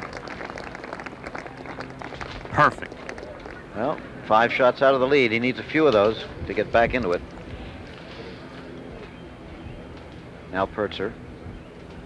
Oh, that was for a par, so it's another bogey for Tom Purtzer. After a tremendous start, he's sliding back definitely now, going to one over par. That puts him four shots behind Irwin in a tie with Jerry Pate. This shows you the value of hitting the greens. He's missed three straight greens, and you've gotten three straight bogeys after that wonderful start where he hit, played very well. There's some other players who have concluded their final rounds. Lee Trevino and former champion Hubert Green. John Mahaffey, our current American PGA champion. Dave Stockton, who won the PGA twice. Bruce Lietzke, fine young player. Lon Hinkle, who inspired a new tree on the golf course here. And Arnold Palmer. Well, the bogey is now official on that hole. And Purtzer will move on and try to forget it. Well, he's got to think positively. You've got a par five uh, in front of you, a hole that, that you hope are your best chance to make a birdie on. Gary Player. Putting for a birdie two here, Jim. Yep, on the short 12th hole. Only par three on the back nine. No. Oh, that that was could have been a big one for him. Gary at four over par. If he had gotten to three over, he would have been very much well, with each hole that you don't birdie, you're just, uh, you know, getting yourself backed into a corner as we watch uh, the man at Familiar 18T. The deep concentration of Nicklaus. He's out of contention, but he's still three under for the day, and he always gives his best effort. Whether he's shooting 68 or 88, he is trying each and every time he hits the ball this is a short par four, 354 yards. That's all. Unusual in the U.S. Open Championship for a finishing hole. Going, starting out to the right. Turned out perfect. Yep, yep. Just coming down onto the fairway. He'll have a good shot into the 18th green. At age 39, Nicklaus continues to walk on. And he'll be coming back to Britain very shortly to defend his British Open Championship. There's the way they stand. Hale Irwin by four now over Purtzer and Pate, remember. By five over Weiskopf. By seven over Player, Elder, and Nelson. Jack Nicklaus now at seven. So he trails actually Bill Rogers and David Graham there. Ben Crenshaw, Lanny Wadkins, and Fred Couples again was low amateur. A wide look from our crane camera at the gallery gathering around the 18th. That's the clubhouse. They burned down two clubhouses in the early days here, but this one's been here ever since the first U.S. Open uh, came here. That was in 1920. Jerry Pate on the eighth tee. Now this, we are, we are told that it looks like he's going to line up to go to the 17th fairway. This is a controversy that's been going on here ever since the first day when Lon Hinkle and several other players decided instead of playing this long dogleg left par five the right way or the normal way, they would play through an opening in the trees to the 17th fairway, then up and over some other trees and try to get home in two. The USGA planted a new tree that was supposed to frustrate them, but Hinkle and a few others uh, uh, principally Chi Chi Rodriguez, have continued to do it. And now it looks like Jerry Pate is going to dare it when he's in contention for the championship. Well, I just don't know whether I agree with this or not. I haven't played the new hole, and you may wonder why he had his driver on the ground there, Jim. When you tee up, you must stay within two club lengths of the tee markers, and you see the graphic of the eighth hole there. Now, now here's the way you're supposed to play it normally. Naturally, you hit it down that green fairway. That that is the eighth hole itself. And then you might try to get home, but it's probably too long for you. Probably come up to about here with two good shots, and then you flip on in three, trying to make a birdie putt. However, here is the way Hinkle's invention says to come over here through that little tiny hole in the trees to the 17th fairway, then a blind shot over some high trees and try to hit the green in two. The odds against it, but Pate must figure four shots out of the lead that he needs it, and yet there's such a long way to go. There is the new tree that was put in, and there he goes. What is it, Hollis? Can you see I'm it? in the wrong place. You're on the normal fairway, probably. I'm with Susie, and she's shaking her head right now. All right, he's talk, she was talking about Susie, Jerry Pate's wife, who shook her head. Apparently, she didn't agree with the judgment. As you see, he's in the rough on the 17th fairway, playing the eighth hole. That's what happened to Hinkle when we saw him do it yesterday. And there's what he faces on the next shot. Well, what you've got to hope for is a good line at rough. Uh, it's really. Uh, do you want to take a chance and try to shorten it up? But you're, you're, as you pointed out, your second shot, blind, rough. Now, Yeah, Purtzer, again, you heard Dave Marr say that, you know, you can't go as far back as you want. Some people think that when you're teeing up a ball. You may go no more than two club lengths behind the tee markers. That's why they put them there, to make you tee off in that general area of the teeing ground. Hollis, has the wind changed out there? Why would they be doing this? This was when they put the tree in at dawn on Friday morning, Hinkle spruce. The wind is out of the west right now. Well, does that mean it's against or with? It's or- more it's more in their face right now. I guess it would be the best way to go. They couldn't get there the regular way. Okay, Purtzer's going to try it, hitting for the 17th fairway. Very, very seldom you'd see this in a major championship. But they're entitled to do it. Uh, any word on that shot, Hollis? Oh, he he's, looks like he's hit a bad shot. Also in the right rough of 17th, and the way the crowd was scurrying, it looked like he might have more of a problem than Jerry Pate. Purtzer and Pate, two young men, both doing what young men often do, daring. well, we'll see here. Tom Weiskopf now, one hole back on the seventh fairway of the 452-yard most difficult hole on the course. Most people think. Got it way long to the right. But he's on the on the putting surface on the green, long way from the hole, as Bob Rosburg pointed out from the fairway. Now Hale Irwin with his second shot on the seventh. Taking a wood out of that tall fair. Okay, let's see what happens to that one. All right, you see it on, on the putting surface. Will it stay there? Yes.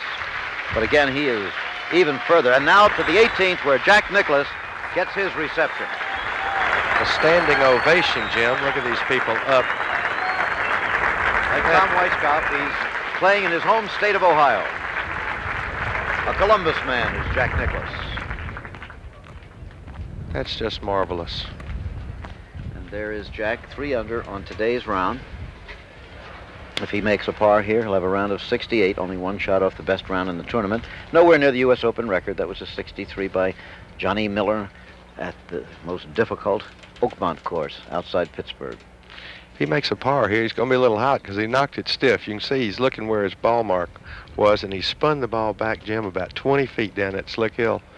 He only has about a four-footer for a three here. Yeah, yeah, he brought a, brought a great yell from the crowd, even before he walked up with the shot itself. Jack Nicklaus playing with young Bill Kratzert. Kratzert started today 10 overs, now 15 over, but he is a good young player. In one year, you must believe we're going to see Kratzert very much in contention for the U.S. Open. There's the way they stand, the leaders. Speaking of Kratzert, uh, as a lot of the players are out here, are a pretty good number, uh, the son of a golf professional. That's right, from Fort Wayne, Indiana. He's not too far from home. Where the Mad Anthonys live. That's right. Now you're really confusing our friends across the sea. Fort Wayne was named after an American hero named Mad Anthony Wayne. Now here comes Mr. Kratzert from Fort Wayne. Watch that pickup speed now. Hmm. Tough. well, what is there to do but smile at this point? You have to see a little humor in it because it's no one has made a putt from above that hole today. It's just so fast. That's Jack indicating there. Well, he's looking up to take a line. He's going to move his coin Mm-hmm. uh, toward the left or right, whichever way it goes, and you line it up on something, whether you line it up on a tree or a stake or something. So when you put it back down, you try to get it in exactly the same place as it was before. I think the average golfer just learned something else. Well, don't be too casual with that. Now back to Hale Irwin with a long, long putt for a birdie on seven. Anyone, though, will be happy with a par on this hole. Just uh, two putt. And that is plenty of work to do anyhow, from where he is. Led by three when the day began, now leads by four. That's a good putt. Great putt.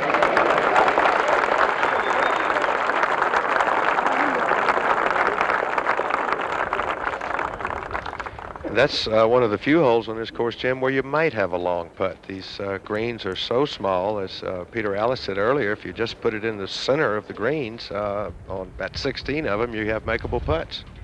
Well, let's see if Jack Nicklaus can end up with a birdie before the crowd in his home state here. It would give him a round of 67 for today if he can make this. Well, he's right on the same line as Kratzert, where he moved his ball and he's uh, moved it back. So he and Bill made his first par. So Jack knows the exact line and should know the speed from that.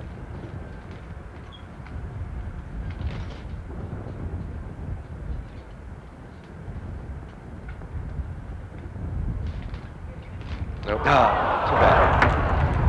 So it'll be a 68 for Jack Nicklaus. Still a fine round, finishing up at seven over par for this year's U.S. Open. But yes, Virginia, there is a Jack Nicklaus, and he'll be around, I think, for a while longer. The current British Open champion.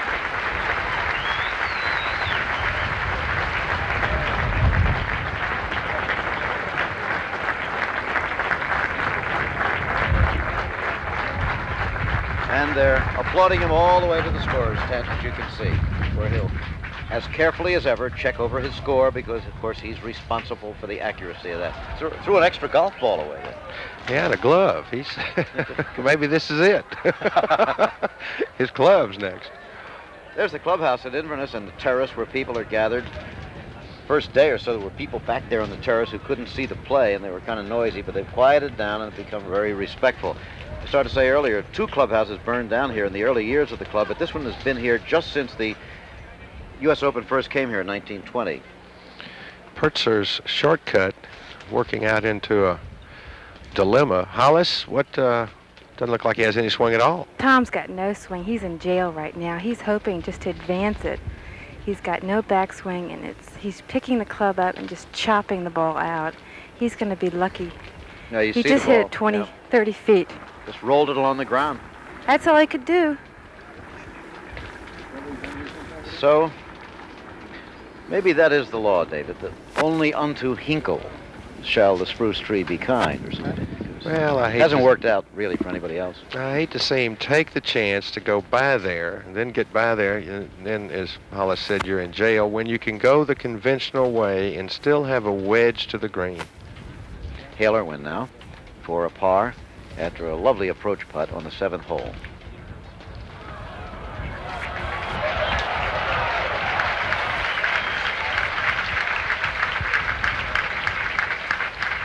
He's in and the lead remains at four. Hale Irwin moving strongly along the fairways of Inverness as we come to you live from the U.S. Open.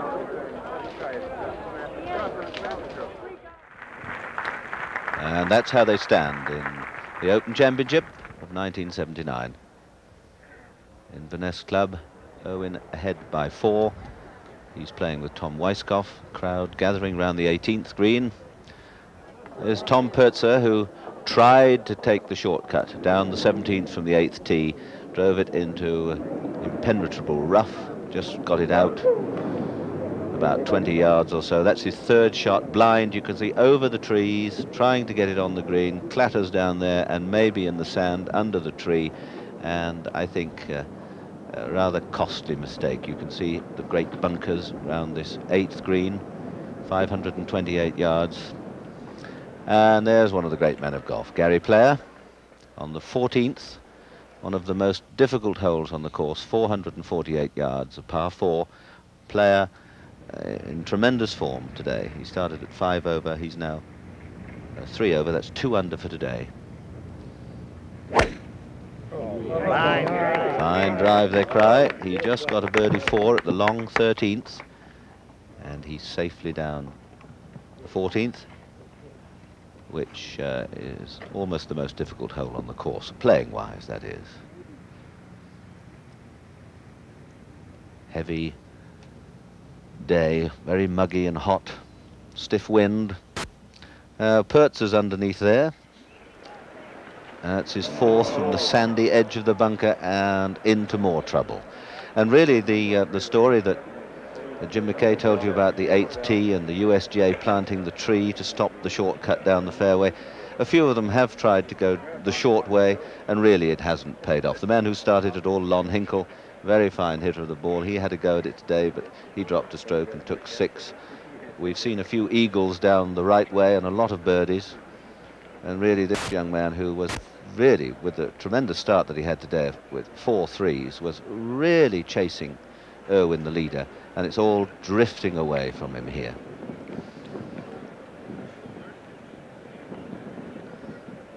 It's his fifth shot.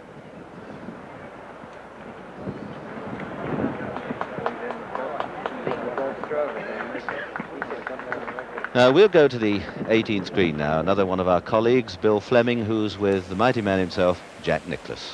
Thank you, Peter.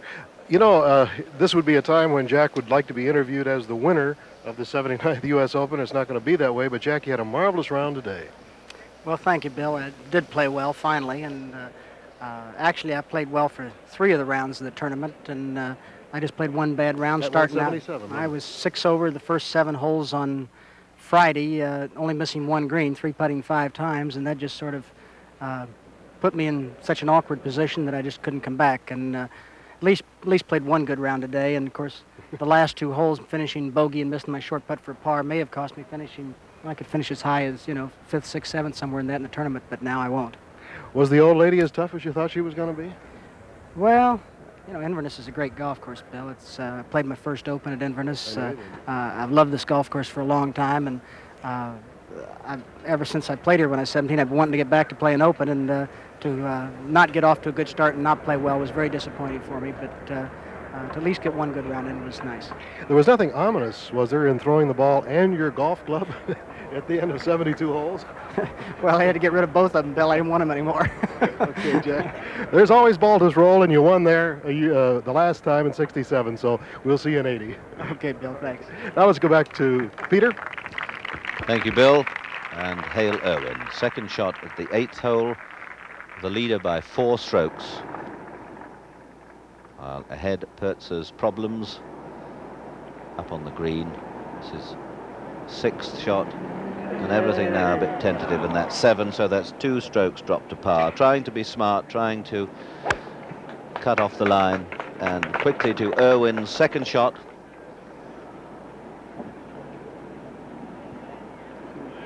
Looking a little anxious. You can see the narrowness of the fairway, and just off the fairway into the rough, a little bit short of the green. But this is a par five. Irwin is four strokes ahead. There's the uh, the marker. There the flag and Irwin's ball you can see sitting up very prettily.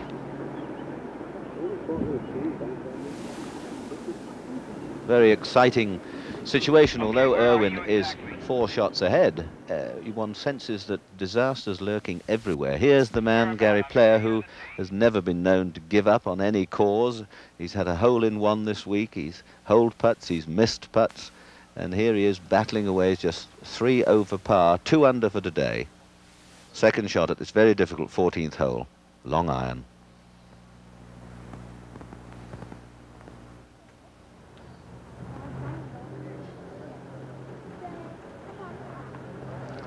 Think he might like that one. Oh, strong. Oh, strong, strong, strong. Took a hard bounce and shot on him, and he, he probably doesn't realize that that's gone. It was dead on the flag. He indicates that he thought that one was going to pitch and stop by the flag. Now he really is going to have to battle to keep uh, his par. Tom Weiskopf at the eighth. Two over par.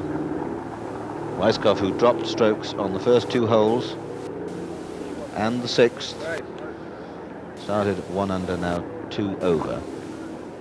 Peter Tom's hit a tremendous drive here. He's going at the green with an iron, and uh, at the time he drove, actually the wind was in his face. He really hit a big one. In fact, Hale Irwin got the break of the tournament. He hit a ball that was going right out of bounds to the right, hit a tree, and came back into the middle of the fairway. Well, that's the luck of the draw. How's that? That looks a ripper. That's to the right. In the right-hand bunker. Just expected to get a little bit of draw from the slope on the fairway, and there he is in the sand. But that's mighty hitting, Bob, to uh, attempt to reach this green. Well, obviously he would have been pitching it on the green with an iron. That's a long way. This hole 528 yards. Look where that flag is. the ninth tee and Tom Purtzer.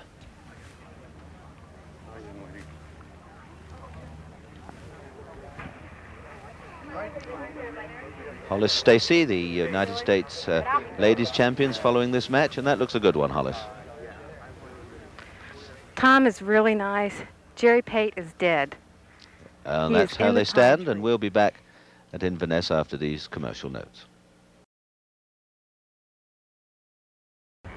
We have returned to the Inverness Club in Toledo, Ohio. Gary Player with his third shot on the 14th hole. He's two under par for the day, three over for the championship, but that will not help his cause.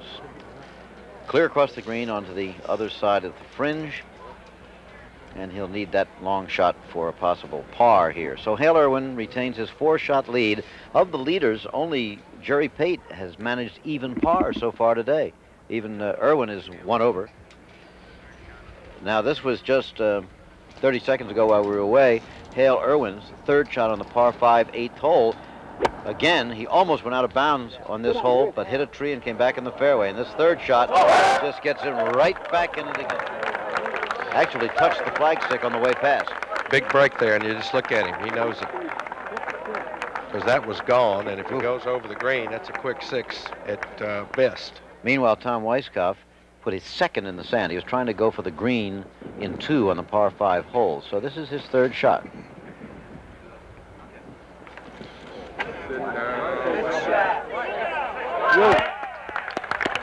That's a good one. Not bad at all. Both then will be putting for birdies on this par five. Weiskopf at the moment five shots out of the lead in third place. That's what you hate to do, Jim, is play a sand shot when it, uh, the wind is blowing directly toward you and you're a little perspiration on you. You just Yeah. get covered with sand. Yeah. Well familiar with the game and with this man, Gary Player. His fourth shot, needing this for a par. Trying for quite a few years now to complete the double grand slam. He'll need that for a bogey five. Only Jack Nicklaus has won the four major championships twice. Only four men have won all four of them once. Gary Player, Jack Nicklaus, Ben Hogan, and Gene Sarazen. So he would like to join Jack as the only two times around winner of the Grand Slam tournaments. What a real distinction would be. But this has been a tough one to get number two up. Getting harder as you go along. Now, for a bogey five, that would drop him to four over, seven shots out of the lead. So he certainly can't afford to miss this. And he doesn't. The determined figure of Gary Player striding from yet another green. Weiskopf now for the possible birdie on the par five eighth hole. Big putt to make for him, Jim. You got to. Somebody has to start putting a little pressure on Hale if they're going to make this any sort of a close race. So in a way, it's the advantage to be out just a little bit.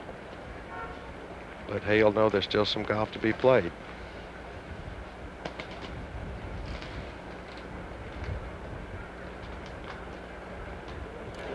He made it. I thought he had let it go to the left. Looked like it, but just caught the corner. Now Tom Purtzer on the ninth fairway, a discouraged young man inside. He has to be, after making the wrong decision, really. I mean, it's easy to say that with hindsight, but so it turned out to be for him, trying to shortcut the eighth hole. Well, you, you saw how Weiskopf and Irwin played the hole, and uh, down the, the normal way, both of them putting for birdies. And Irwin about to make his attempt. Weiskopf, having made his, has gotten to one over par for the tournament, tie with Jerry Pate for second place behind Irwin here. Four shots out of the lead. That's pending this putt. Pate at the moment, though, in trouble up on nine.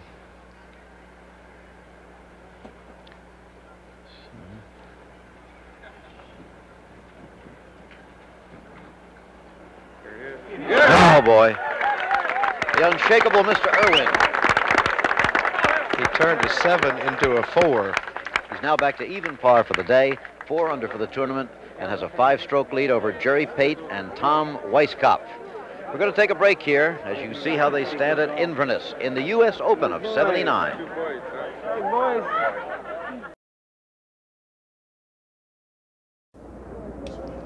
Well, we're back at the Open Championship at Inverness. That's how they stand. Hale Irwin and Weiskopf both getting their birdie fours at the eighth, playing it the conventional way.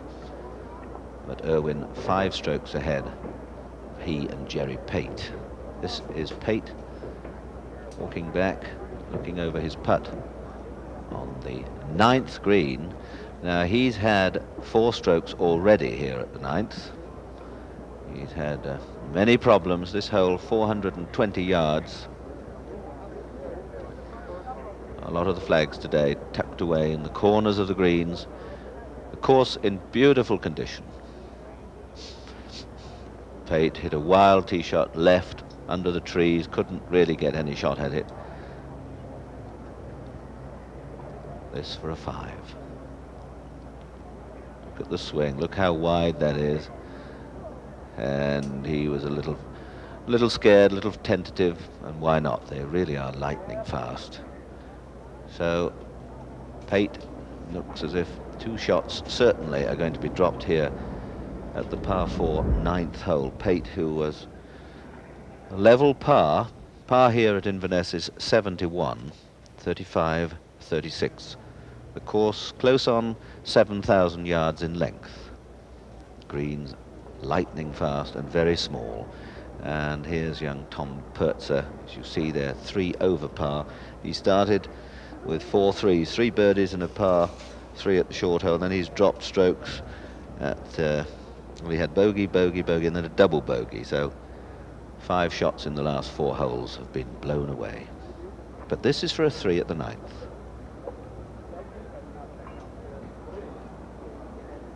And turn, turn, turn. So at last, Tom Purtzer can uh, have a little breath. That's the ninth tee. Irwin coming up behind.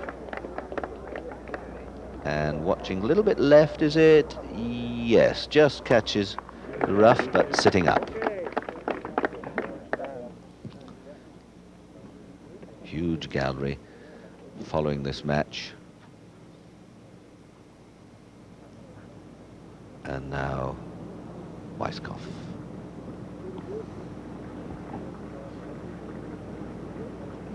That familiar upright style gives himself room to swing. Oh, he's hooked it. Pulled it, pulled it. And yes, there it goes into the rough, settles behind the trees. Now back to Jerry Pate for a six, two over par six. Which he gets, but that at the end of the day is, I'm sure, will be very costly. Purtzer, Tom Purtzer just the little small one for his par four. Purtzer gets a four. And, uh, well, after that marvellous start, all dissipated. Uh, nine holes to play. That's the ninth, our model of the ninth hole. Weiskopf and Irwin both left from the tee.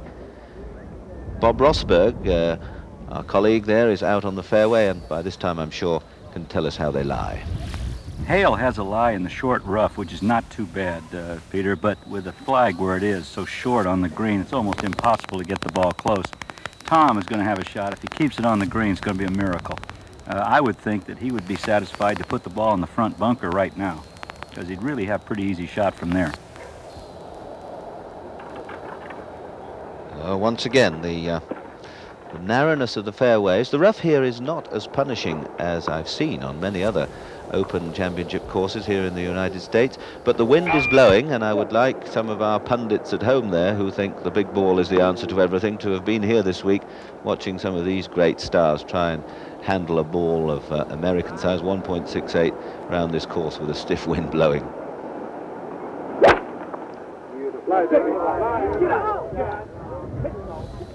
And, oh, well, just pitched alongside the bunker and skipped onto the green. It goes to the back and just off.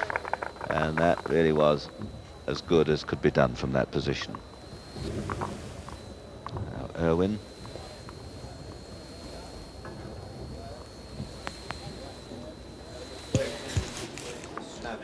Five ahead.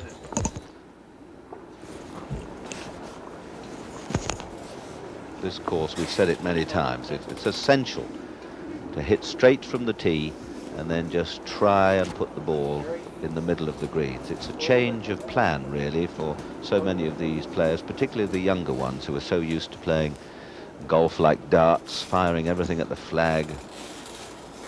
But not here, although the greens have been holding very well and the course in beautiful condition.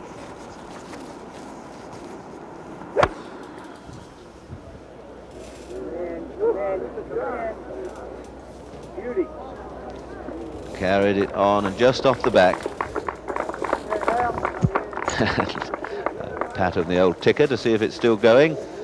And Irwin now on his way up to the ninth green with a five-stroke lead. Now we'll just go ahead to the 11th. Jerry Pate. Purtzer's already driven and is uh, down the fairway. This 10th hole, just 363 yards. And what problems we've seen here this week.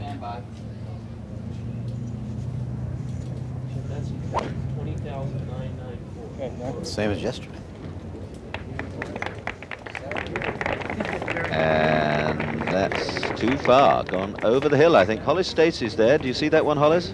Jerry's just hit it too far. He's on, he's through the fairway and on the downslope. So he's going to have a pretty tough shot in there with the pin tucked closely to the right hand side of the green. One of the great features here on this course is the uh, is the ridge, the bank, the swale, call it whatever you will, that runs through the green. And let's have a word now from Jim McKay, who's behind the 18th green here at Inverness. All right, once again, we'd just like to update things for those of you who may ju just have joined us. It's a long afternoon, remember. Four hours of coverage or till conclusion. We've been covering all 18 holes of the leaders in this final round of the United States Open Golf Championship of 1979. Well, the big story of the day is that Hale Irwin has held fast. He started the day four under par. He is still four under par. He's had his slight ups and downs, but generally speaking, the net result ha has been all that's been important. Tom Weiskopf uh, started the day at one under. He's had a lot of trouble in the early going. He's now one over or five shots off the lead. Jerry Pate has played well until that uh, ninth hole there when it caught up with him with a double bogey six. He's gone to three over. Tom Purtzer started out with four threes, with three birdies and a par on the par three hole, but uh, then took several bogeys in a row, and particularly in the eighth hole, he tried to take the famous shortcut to the 17th fairway it resulted in disaster for him. He took a double, double bogey seven, and he is playing himself out of it. It appears now, although the, remember there are nine holes still to go. Gary Player is the only one of the people on the top part of the leaderboard who's under par. He's one under par for the day and four over. Here is Gary Player on the 15th green. This is his third shot. As you can see, the wind is up again today at Inverness. Some holes it's across, some holes it's against, some holes you're downwind, but it's always a factor. Final round being played on Father's Day here in the United States as we are also joined by a live audience in the United Kingdom. I'd like to ask you, uh, Peter Alliss, do you celebrate Father's Day in the United Kingdom or is that just one of ours? Uh, no, it's become very popular now. Oh, yeah? Uh, yeah, there are a few dads over there as well, you know. Okay, well, we'll wish them all well on both sides of the Atlantic and back over to you. Thank you, Jim. I'm sure they'll be, well, we're keeping a few of them up late tonight. I hope they're enjoying the golf. This is Weiskopf from the back of the ninth. And that's his third and good effort. 10th fairway, Tom Purtzer's second shot. This hole, only, only 363 yards. Tiny little green And a good shot. You saw there how receptive these greens are. They're lightning fast, but they seem to be firm. Now here from the back of the ninth, we're back with the leader, Hale Irwin, stalking round behind his ball, just feeling out, looking at the contour of this green.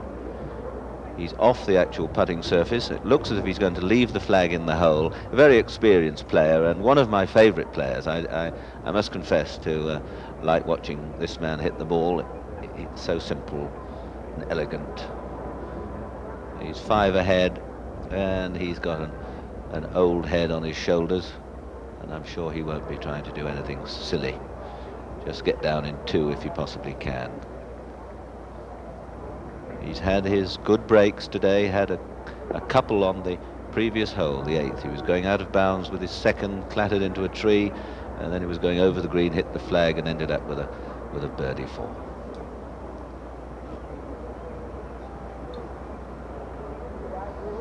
Hardly touched that, way to the left. Now, has he given it enough? Has he? Look at it turn. Look at it go. Gary Player up ahead, got his par four at the 15th, so he remains at four over. As both Weiskopf and Irwin mark their ball. Or rather, Weiskopf replaces, and both have little testing putts for their par fours. I'm with Frank Hannigan, who's the Assistant Director of the United States Golf Association. And Frank, uh, you really have got the flags in some difficult places today, and the greens are fast, and it's very hard to hold a lead. It is indeed. Irwin, uh, Irwin's job is formidable. Peter, uh, there have been 75 opens played at 72 holes, and the, the fellow who's led after the third round has won only 33 of them, less than half the time. Well, that just shows you the enormous pressures particularly now in modern times. Of course, it's a, such a marvellous championship, but the, dare we say it, the commercial rewards too are so great.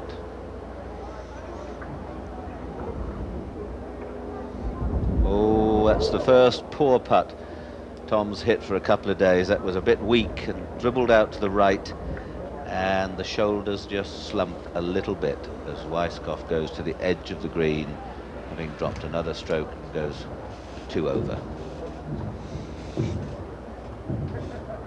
Irwin, ever meticulous.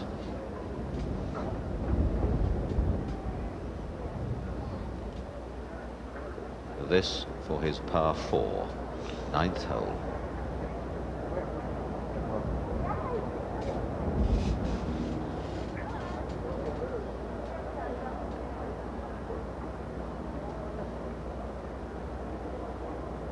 Boomed it straight in the slow backswing and a nice follow through.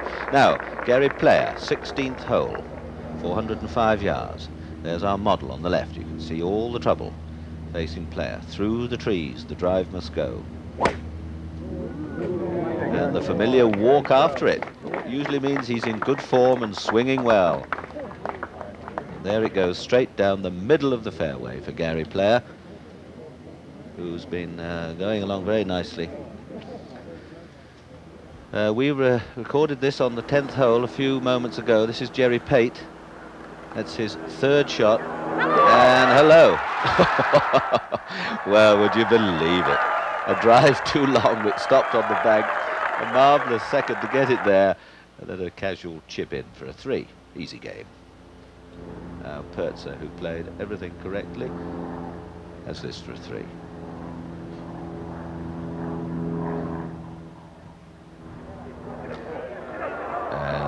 Such vagaries of the game. He plays it properly, takes four. Pate has a few dramas and gets a birdie three. Well, that eases the pain a little bit of the uh, slightly disastrous ninth hole for Pate as Purtzer goes in for his par four. Remains three over.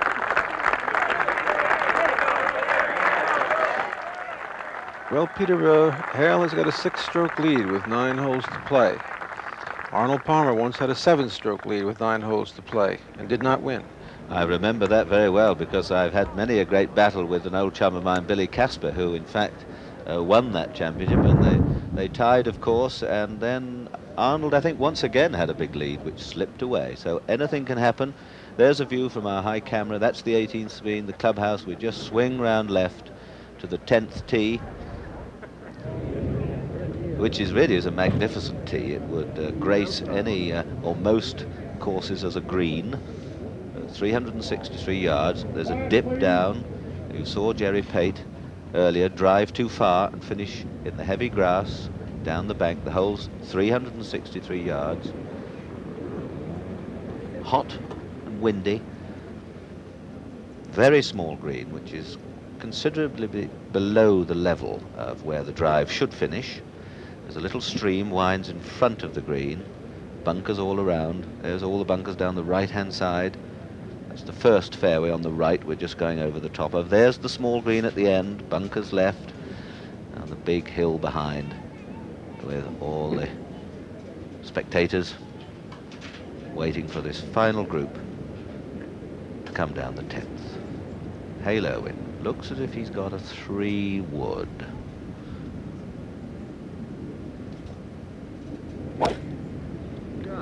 It's going way right. It's going to land in the bunker. Yes, just pitches short and drops in the sand, Bob. It's not too bad a lie, Peter. He's back far enough that he can really play any kind of shot he wants to without worrying about the lip. But the only thing about this hole, if you happen to hit it a little heavy, you can put it in that creek down there in front of the green, and that's six. And Weiskopf, you see, with a one iron.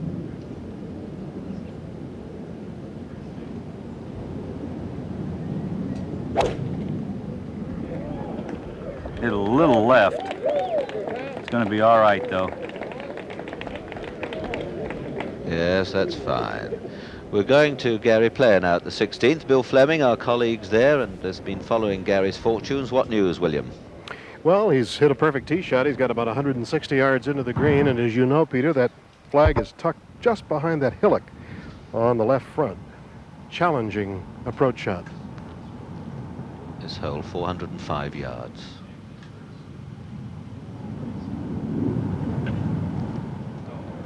And he set it off to the right, hoping, I think, to have the wind blow in a little bit to the hole, and it does. No, that was a great shot by player. Just skips past the hole. Fine shot. We're going to leave you for a couple of minutes, but we will return to the Open.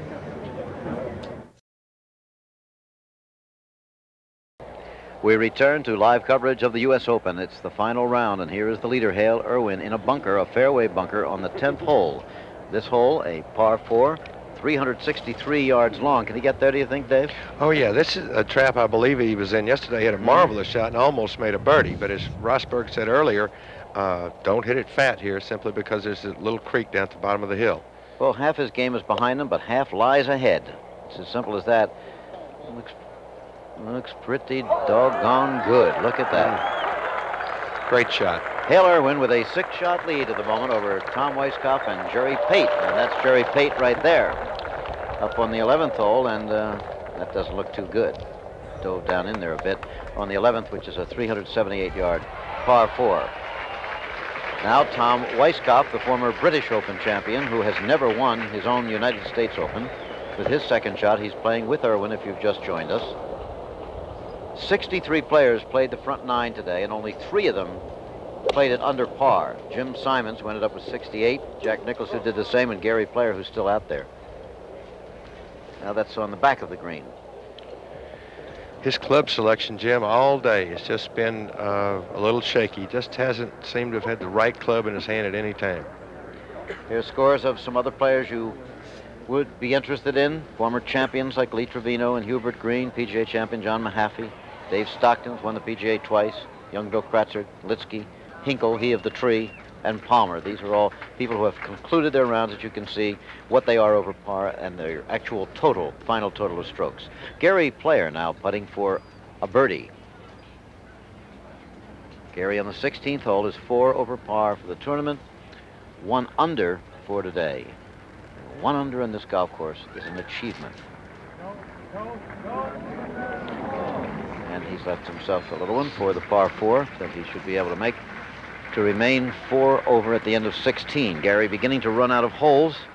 Soon he will have nothing to count on except others making mistakes behind him. David, it looks to me that at least at the moment like the wind is going down a bit. I don't know whether it's true in the golf course. We'll check with our reporters when we come back to some of those groups. Well, it is here at 18, Jim, and uh, I just hope it's not switching around to bring us that rain they were talking about. Now, Jerry Pate has a shot here that he would be very fortunate to make a par four here. He's got to carry it far enough to get over the deep rough, and yet there's not much green between he and the hole. Oh, marvelous shot. Marvelous shot. Just as well as, just as good as you could play that. Still a pretty difficult putt for the par four, and he's tied for second right now, remember. The three leaders represent two former United States Open champions, Hale Irwin and Jerry Pate, and one former British Open champion, Tom Weiskopf. In other words, three of the finest golfers in the world battling it out for the American title.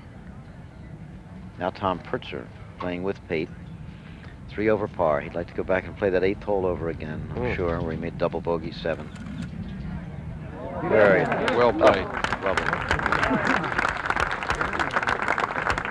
And 11 is not that hard a hole uh, to look at. 378. Uh, you just want to hit it down the fairway, and you have just eight or nine iron to the green. And if you don't drive it into fairway here, then your problems start.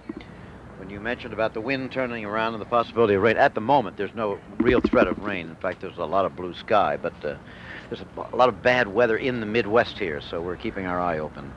Look at the crowd gathered just on this one hole. They've been sitting there all day watching a lot of people play the 11th. On the 10th now with Weiskopf. Very fast down this hill, Jim. Very fast. All right. Good putt. We get word that Gary Player made his par on 16, so he re- remains four over for the tournament. In a tie for fifth place with Larry Nelson and Bill Rogers. Lee Elder has dropped back. He had a double bogey. He's gone to seven over. Bill Rogers is, as I said, at four over. He's gotten back into it a bit. Now Hale Irwin, the leader, by six. This for another possible birdie. Well, it would be getting pretty close to a ceremonial march down the back nine if he would make this. But let's take a look at Jerry Pate first for the par. Up on 11.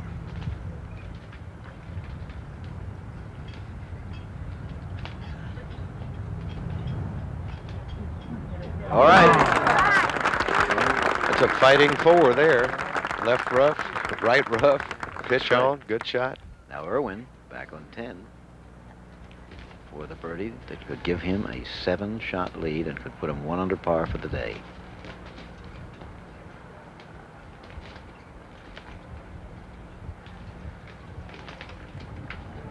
Oh, he knew it immediately walking after. it. Of course, yesterday he walked after one and went in. Yes, at the eighth hole.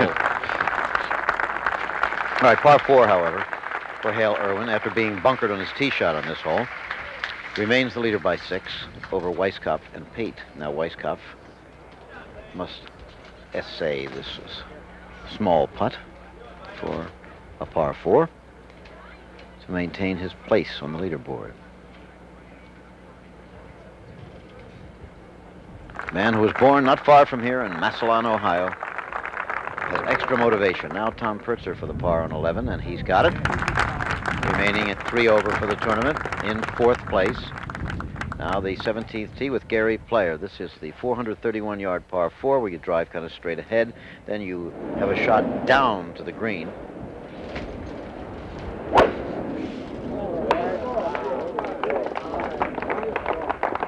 Amazing the distance and accuracy this man gets out of a golf ball. Not a tall man, but uh, a very strong one. Well, that's a tribute to how much hard work he's put into this game of golf for 25 years, Jim. There's no one that works harder or tries to get his body in better physical shape than Gary Player. Well, Dave, you're also what one might call a man of average height. Is there any secret to it for those guys? Well, I just think you have to watch what you eat, and of course, in Gary's uh, and this man here, you you do watch your diet. You try to eat a balanced diet. Get enough rest and just take care of yourself. The leader, tall Hale Irwin. Looks like a three wood there, Jim. On the 11th. He's Not a- got this one way to the right. Oh, my goodness. Oh, can you give us any more detail on that, Bob? Well, it's so far to the right. It's over in the rough by the second hole, and it's right behind a tree. He's going to have a very, very difficult shot to play. I don't think he can even shoot it at the green. All right, Mother, put the dinner on the back burner. It's not over yet, and it's Father's Day. Let him stay here. But both times with three wood there, Bob, he's hit it to the right. Well, he's hit a lot of them to the right today, Dave. That shot he hit at uh, at eight, you just couldn't believe how far to the right it went, and, and that was the break that probably won in the golf tournament if he does uh, go ahead and win it. Now, can Weiskopf take advantage of this? He also has a fairway wood, which I believe is a three.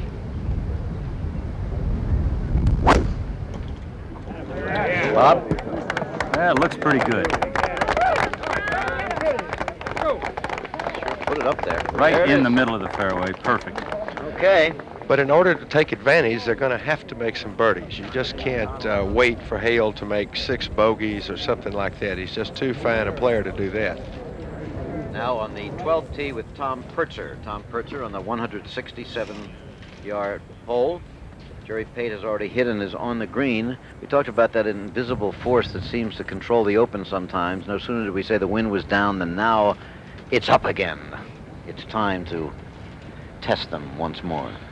This is the shortest par three on the course, but nevertheless a very good one.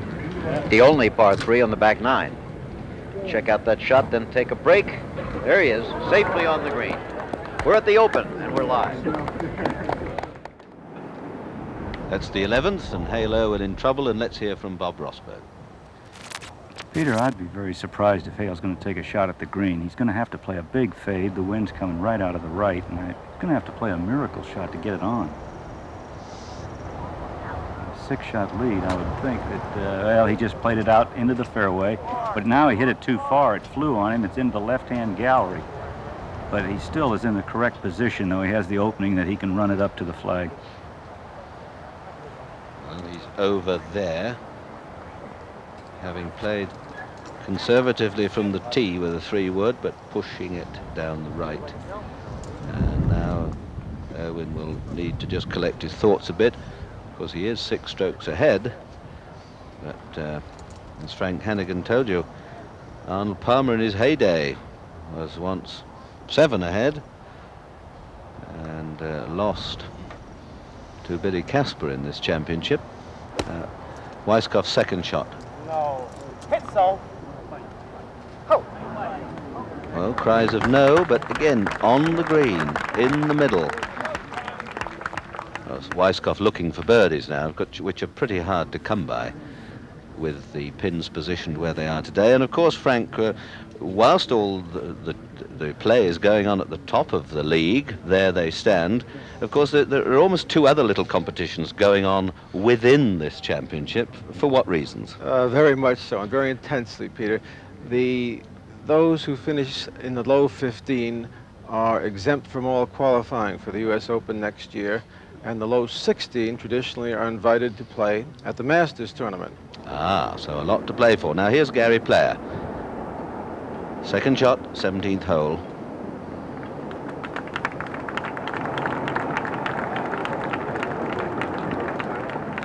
And look at the intensity. He's looking at right. And look at that. He really is a marvellous man at this game of golf and playing all in white today. Now Purtzer for a birdie.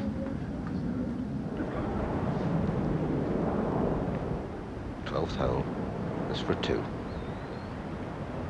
And turning, turning, turning. Good speed.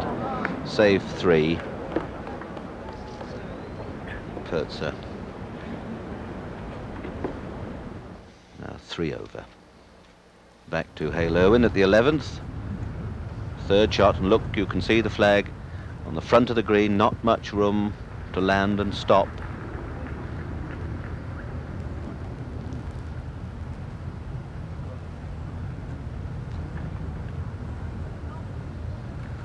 Third shot, landing it short. Skips it on watches it roll, but that's not too bad. Still moving. Irwin's a wily campaigner, though. He'll know that he must accept the fact that he may well lose a stroke or two here and there. The Great thing is to not lose too many.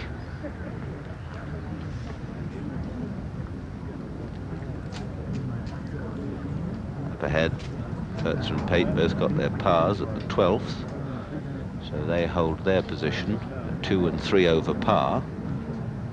Weiskopf, two over par with a reasonable chance. This is the 18th, and Ben Crenshaw from uh, the most difficult size, chipping from a little gully, and it's lightning fast. Third shot.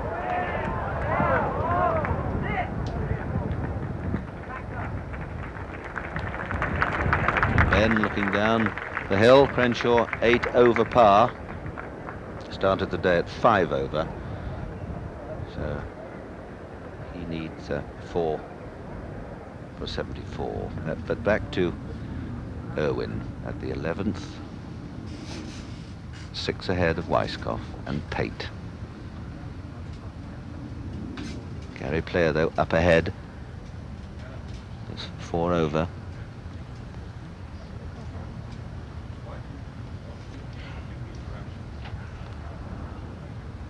Well, pleasant indeed. Now, Irwin. Comfortable lead, of course, and uh, here again, all sorts of thoughts. Well, you wonder, everyone has their own thoughts, whether Irwin thinks he can hold this or whether he's just going to roll it up nice and tidy and accept a dropped stroke.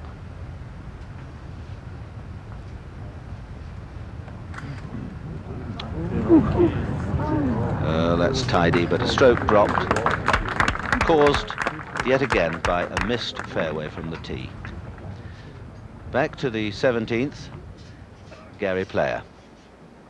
After that uh, splendid second shot, this 17th hole, 431 yards and a very hard par four. Well, the last hole is but a drive and a pitch, and if Player could, could finish 3-3, well, it'll stir him up a bit.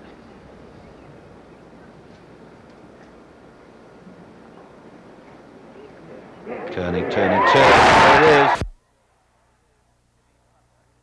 Heavy putter out of his bag this week. He's got his centre shafted one, a little bit lighter.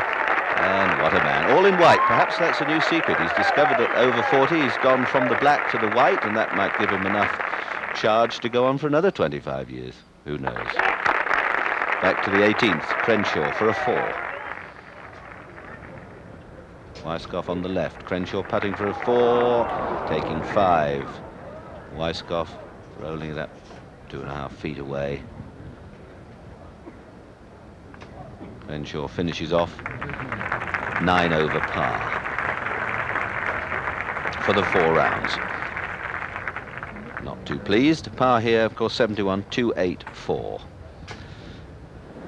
Look, watch this putt of player again. You see he's got a closed stance. Look how much this ball turns and in she goes.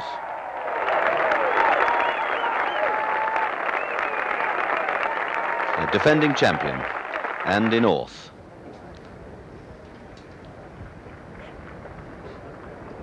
Irwin hold his little tiddler for his bogey back there on the 11th.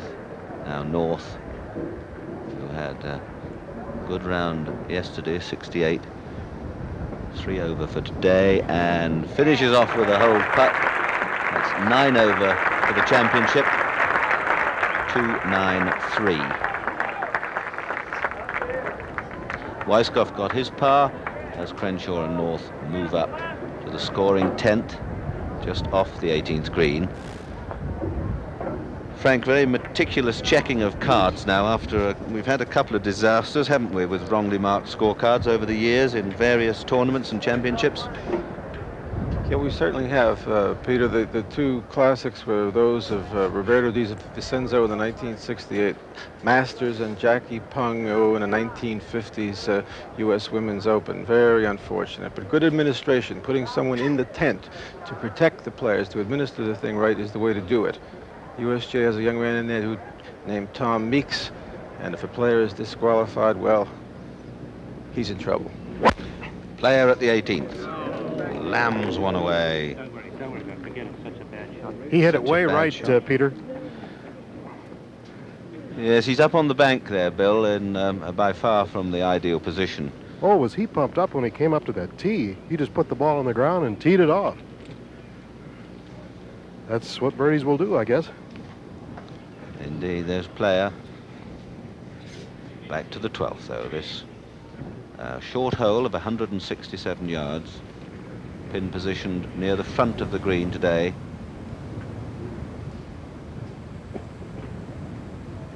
There's Weiskopf.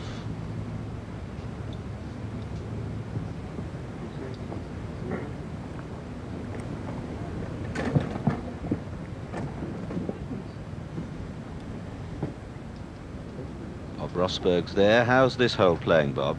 It's playing very difficult, uh, Peter. Very, very difficult because it's downwind and the pin is very short, almost on the downslope. It's going to take a miracle shot to get it close right now. Sort of an eight iron shot or, or what? I would think it's either a big eight or just a little seven. Uh,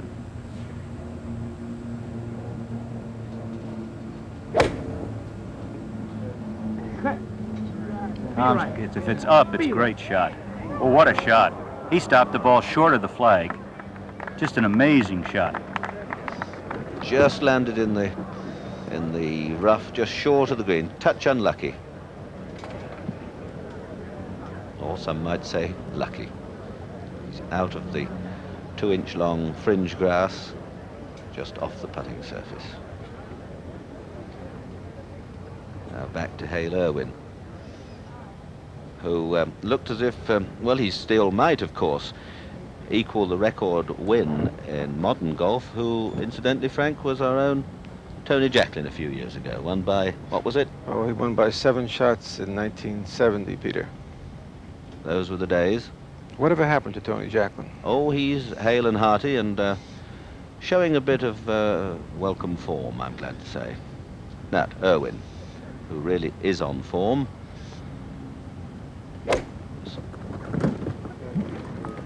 It's a beautiful shot here.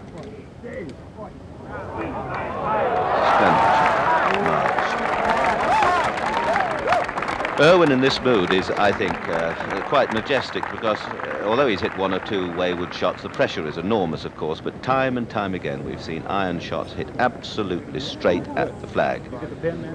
And almost hold his tee shot.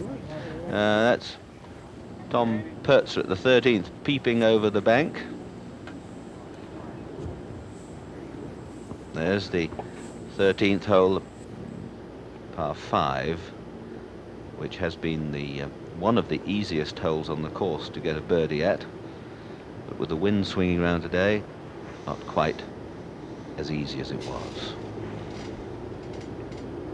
Down and up to a elevated green, small entrance, bunkers all around. Hollis, where's that one? He's hit it in the left bunker, left of the green. He had a very good lie. And it looks like they're all, Jerry and Tom are pulling out all the stops right now. Well, Purtzer once more in trouble. He's had lots of trials and tribulations. We're going to leave you for a couple of minutes, but we'll follow their progress here.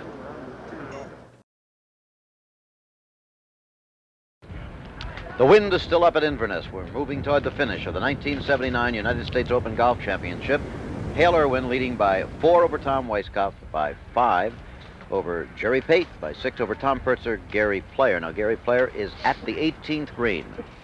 Let's take a look at the 12th hole here. Just a matter of seconds ago, Tom Weiskopf putting for a birdie. If you wonder how he got to plus one and moved closer to the lead, that's how he did it just now. Now live for Hale Irwin for a birdie.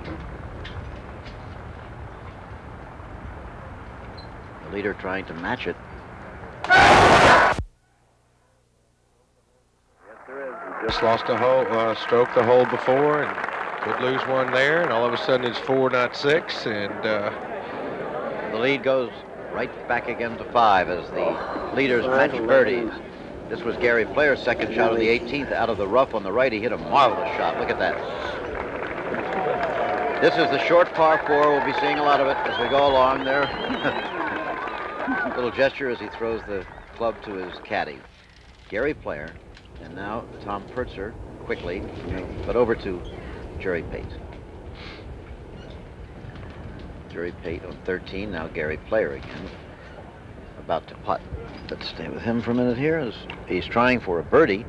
He is three over for the tournament, two under on today's round. If he make a birdie, he'd have a round of 68, which would tie for low round of the day with Jack Nicklaus and Jim Simons. plus he's going to finish about third or fourth if Well, that happens. That's right, Made and it. he's done it. Gary Player of South Africa.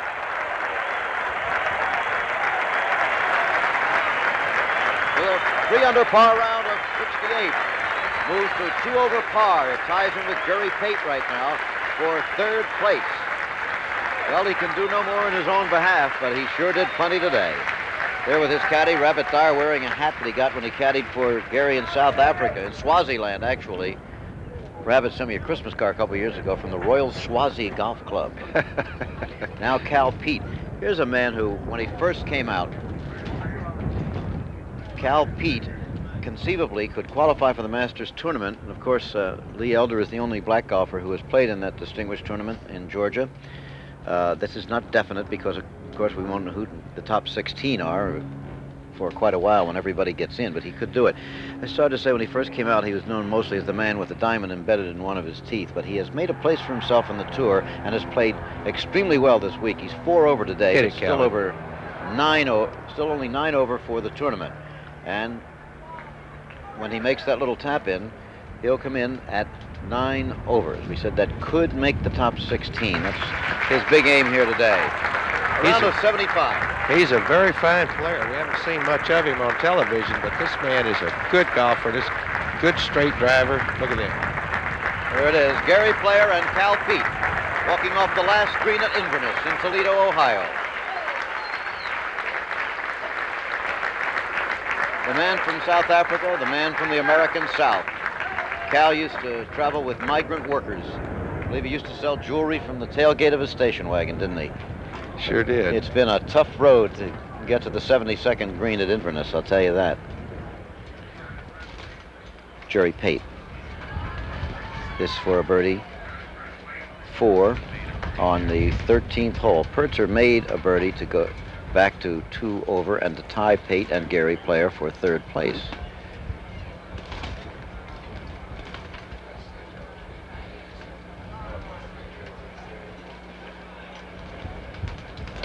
All right. I tell you, nobody's giving up out there.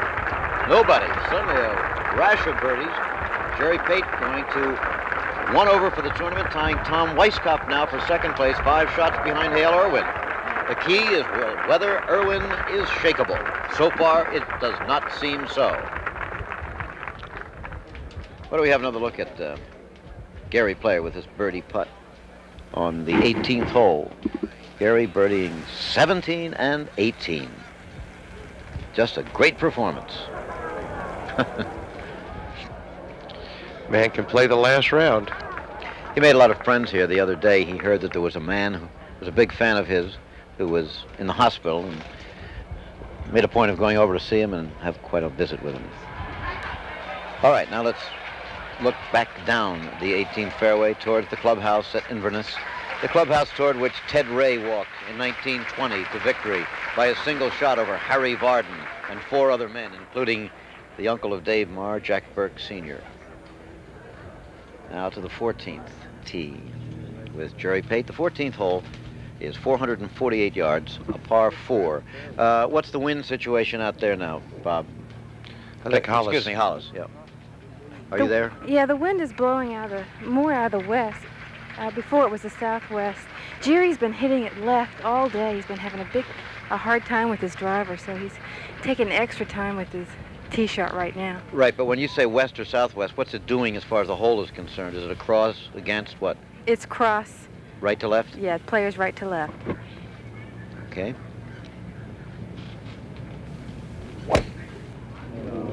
Where's that? He's hit it left again. Mm-hmm. And it's left of the bunkers, maybe in the 15th fairway. Oh dear. Jerry Pate, having just moved into a tie for second, now gets himself in trouble again. Next two holes are long par fours, Jim, and uh, of course you you've got to try for a little length, and yet uh, you miss the fairway, you're going to make a very good chance to make a five. Well, let's have a look at Irwin now. The leader on the 13th hole, the par five. What's the situation? Well, here's a, a, graphic look at the situation. First, Irwin on the left in the rough, Weiskopf on the right. What's the situation, Bob? Well, he's just playing a sand wedge or a pitching wedge just down in front of the creek. You know, I just looked, thought back. Hale Irwin has not hit a fairway since the fourth hole. Is that right? And it's just amazing. All he did hit the eighth fairway with a help from the tree, but uh, it's, it's really been a tough go. He's hitting some great irons, but he's really having trouble hitting either the three wood or the driver. He hit three or four in a row to the right, and then he hit a real snap hook here. Weiskopf has hit a big drive and really didn't get the best of the, of the bounce. It bounced right and caught the edge of the rough, but he does have a good enough lie that he can get it to the green. Well, he'd certainly love another birdie here, and this, the par five hole, is the place where you'd like to get them. That's where he made eagle yesterday, so. Yep. So Hale Irwin's been holding on with those iron shots of his, particularly the long irons, and he's always been very good at those. We remember the two iron, wasn't it? He hit to the 18th green at Winged Foot. Yes, after I said he couldn't get there. he rubs that in. But this, he's got an interest there, Bob. He can run it on even. Uh, he doesn't have to carry it all the way on the green. No, he has the opening. Uh, he's about 215 yards downwind, wind actually coming out of the left, but helping. Well, an eagle here for him, assuming a par for Irwin, would make a two-stroke difference and bring him to within three, and it would then not be over at all. However, a job to be done here. No. And it's no. going left. Probably in the bunker if it gets there. Yep. I think it's the bunker. Is it? Can you see if it's the bunker or the long grass? I believe it's in the bunker. Yeah, I think so too. Uh, just as he did on the eighth hole, going for it in two, he hit the bunker. It was the bunker on the right the last time, the bunker on the left this time. So that's where he is, behind that, that hillock there. Bill Rogers has just been hanging in there all day. He's four over for the tournament, putting for a birdie on the 16th hole. Not quite, not quite. I could have moved him a stroke closer to the lead and out of a tie with Larry Nelson and David Graham for sixth place. He's a he's a good little player. This guy. He just goes along and uh, shows a lot of heart. Jim. He's gotten off to a bad start on both Saturday and Sunday, but he's just fought his way back into really what looks like it's going to be a good finish. Well, for those of you watching by satellite in England today live, when you hear about the depth of the American tour, they're talking about young players like this. They do keep coming. A look at some of the gallery gathered around various greens here. A lot of grandstands this year, here provided by the USGA and the Inverness Club. Irwin by five over Weiskopf and. Pate, just to keep you up to date if you're in and out of the house. It always pleases us that each year go, goes by, it seems that more of those young players we're talking about, Dave, go to the British Open Golf Championship because it seems to me you can't be a world-class golfer until you've proved you can play the seaside links of, of Britain as well as the more parkland courses of America. And if you're really going to have a career, you should go play in the Open when you have the chance and when you're playing well. And I think you have people like Nicklaus and Trevino and others talking to the young players about that very thing. Get over there and learn how to play those great courses. Hale Irwin, third shot, par five hole.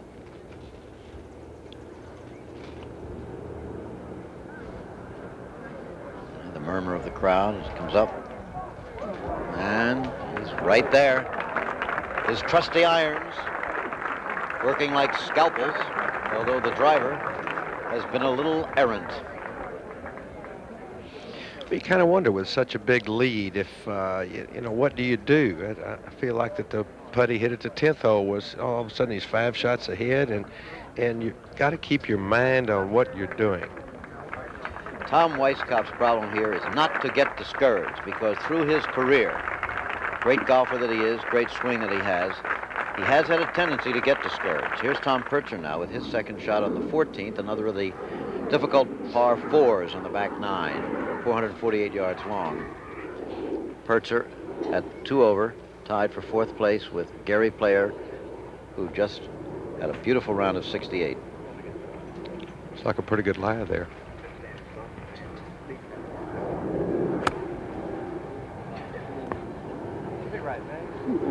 I heard him.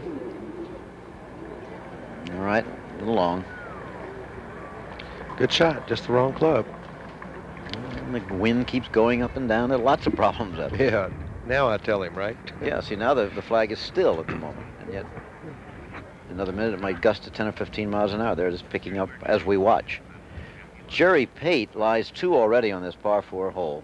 Remember, he hit his tee shot way left and was only able to advance it that far.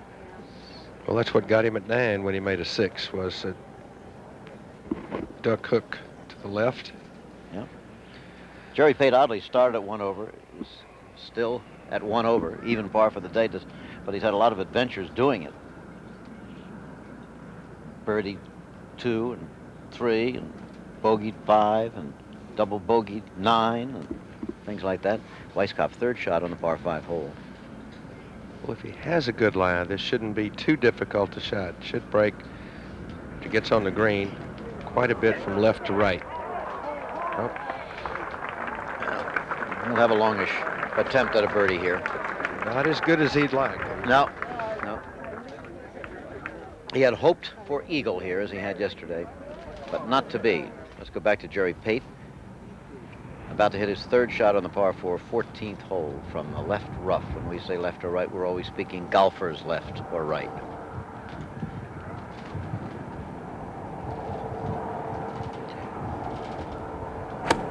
Lots of jets flying in and out today.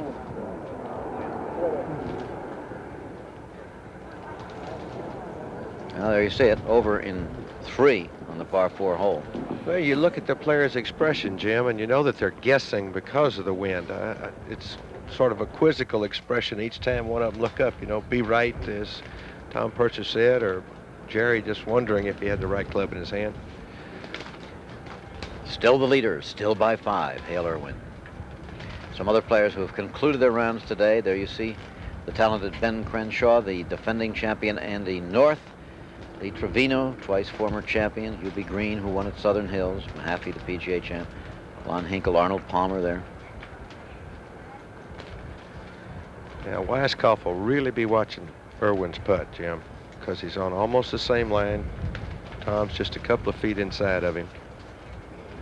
Be more watching the speed, and then what does it do at the hole? How much break will take place there? Both men lying three. They got there in very different ways. Irwin with a bad tee shot had a layup short of the creek and then flipped the third one on. Weiskopf with a good tee shot went for the green and two, went in the bunker and came out in three.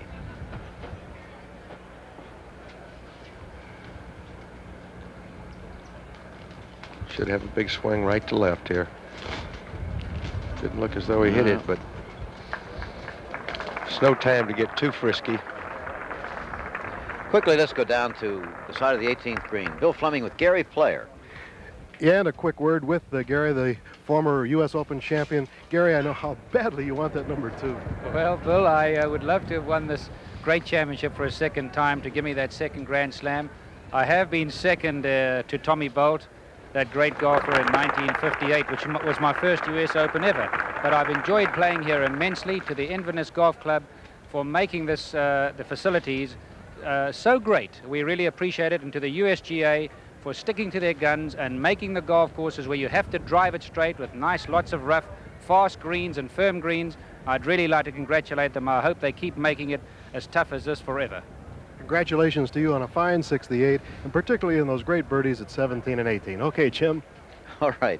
I think we can count on the USGA to fulfill Gary's request. They'll keep making it tough. But the great players do like the great golf course. Well, the harder the course, uh, the better player has a better chance. They say, in effect, don't hand me anything. I'll come and take it. Okay, Thomas, if you ever made one, now's the time.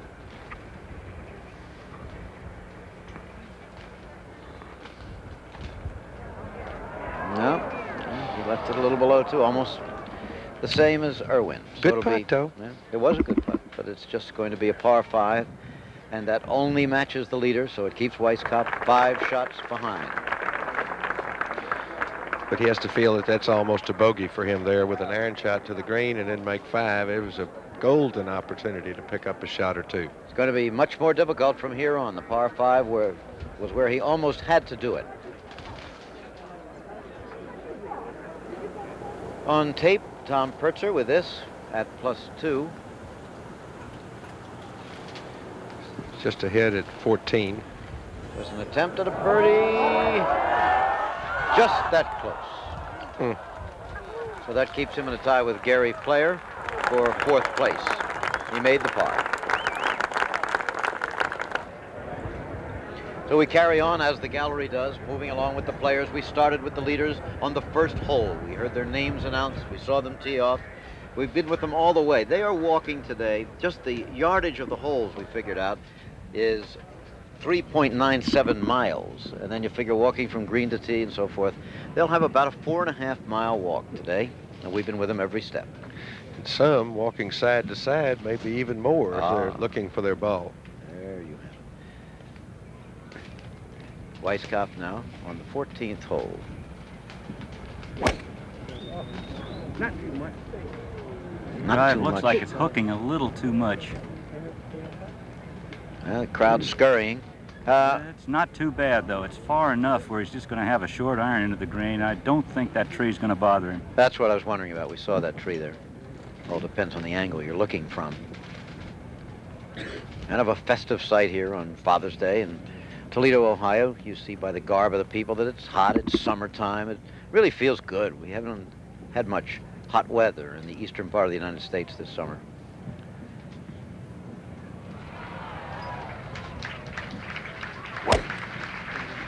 How about that, Bob? Well, this Oh, looks like a pretty good drive. He didn't like it. No, it's oh. left. I Yeah. thought it was going to cut back in, but it's in the bunker. Oh boy. So Irwin's driver continues to betray him. See if he can come back yet again and hold on to that lead. Lots of ways to watch the Open.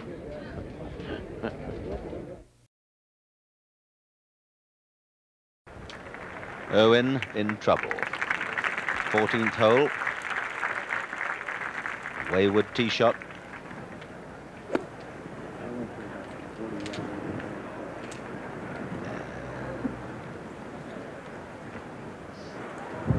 He's out and up the fairway. Well back this 14th hole, 448 yards. There he is. Holes running out. Still five shots ahead, though. Now must keep calm and cool because this man can hold the putts and hit the, the great shots. And if he puts this on the green, well, who knows?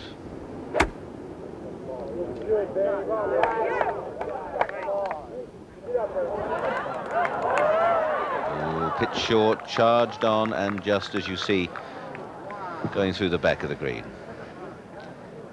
Disappointed Weiskopf, thinking that the gods might have been a little kinder.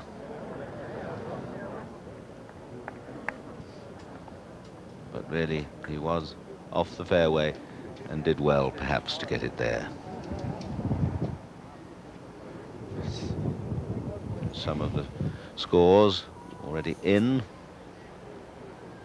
Nicklaus Fergus, low amateur, Fred Couples, and back to Irwin playing his third shot at the 14th.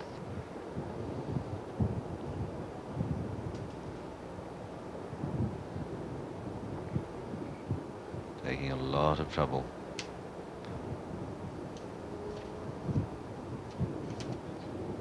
really want any silly mistakes now, but with his driver uh, being a little wayward, he's putting a tremendous strain on his iron shots for the green. Two or three deep breaths, just clear the brain, concentrate on the shot.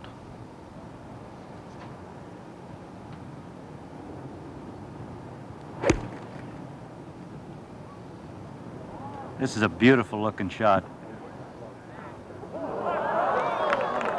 Yeah, fine shot right over the flag again. Touch long, but you saw there how receptive the green was to that well-struck shot by Hale Irwin. Just pitched right in and jumped back. Irwin on for three. There's Bill Rogers, the 18th. This is a fascinating hole, I think. 354 yards.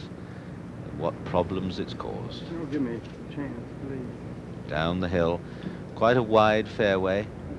Flag today, front left corner. Green slopes severely from right to left. But the first objective really to get the ball on the fairway. Although we did see Gary Player hit a splendid three from, from not a very good drive down the right-hand side. That's Bill Rogers, one of the few modern players who does not use a left-hand glove. And that's nicely on the cut portion, not too far away from the green.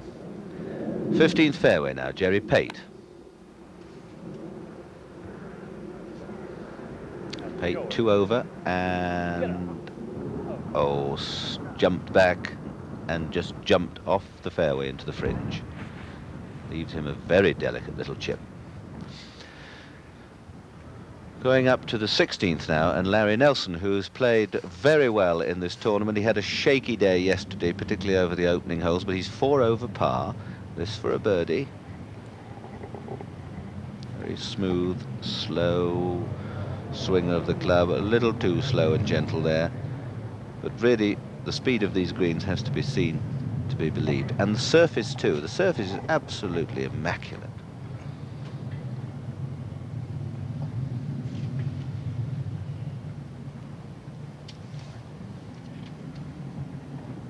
Nelson 75, 68, 76 is rounds so far. Started the day two over and he's four over now, so two over. Par in for 73. Tom Purtzer, 15th.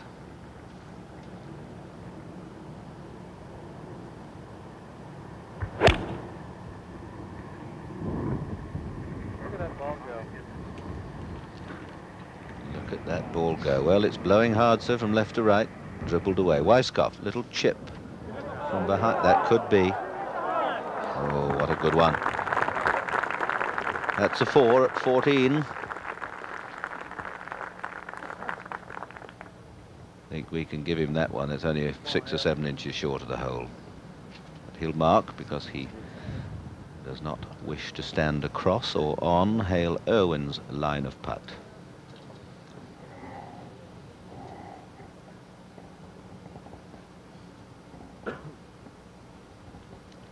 Irwin having played three. Now again, just up to the hole. If it drops in, well, good luck. But uh, certainly uh, no point now that uh, Weiskopf's already taken four here. No point in him sort of dropping more than one stroke. So really, if he goes four or five feet past, it would be uh, either rather too courageous or a bit ultra clumsy.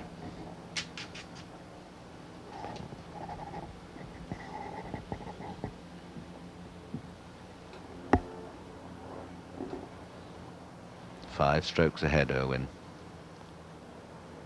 Crowd still and quiet. One of the great things about golf, I think, and one of the nice things is that the crowds come to applaud the game uh, and the players. You don't know sort of booing one or cheering t'other.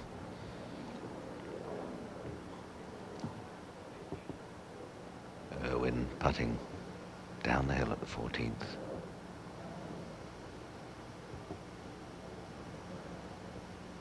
And it's away to the right, but safe. This is the last match out on the course. And these grandstands, as we call them at home, and bleachers here have been occupied pretty well since early this morning. People just waiting to watch their heroes pass by.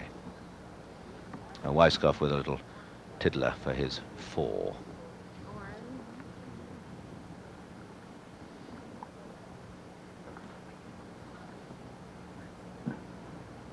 Remains one over. Now back to Bill Rogers, the 18th.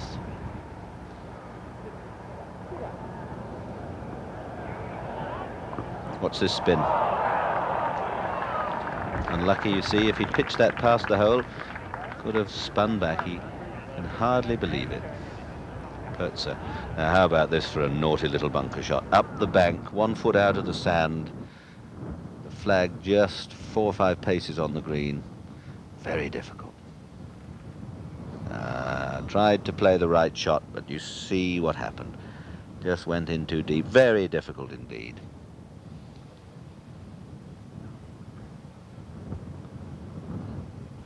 So now he's playing four. And every one of these strokes now very costly indeed. Still a tricky shot. Half buried.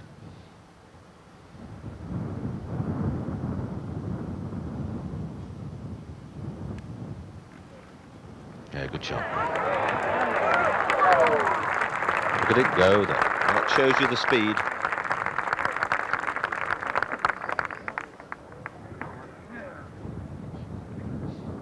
Fifteenth now on the tee, Tom Weiskopf. There've only been three birdies here at the 15th today. That shows you um, how difficult it's been. There's our whole model. There's the tee. You drive between the trees there. Quite a narrow opening. Bunkers on the left, which really shouldn't bother these great men. And then onto the green. Bunkers all round. Weiskopf. Four behind. About to drive.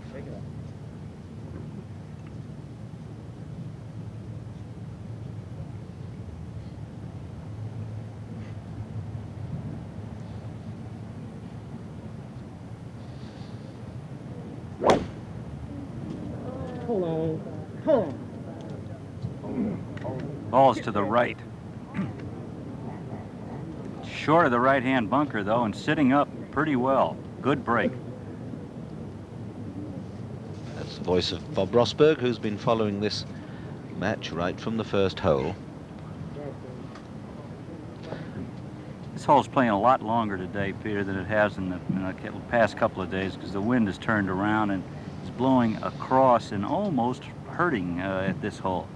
Weiskopf hit an eight iron for his second shot at the previous hole when they were playing two irons uh, Uh, in the previous days. Now Irwin on the tee. Now he's been having problems with his driving. Needs a couple more straight ones, and he could be the champion.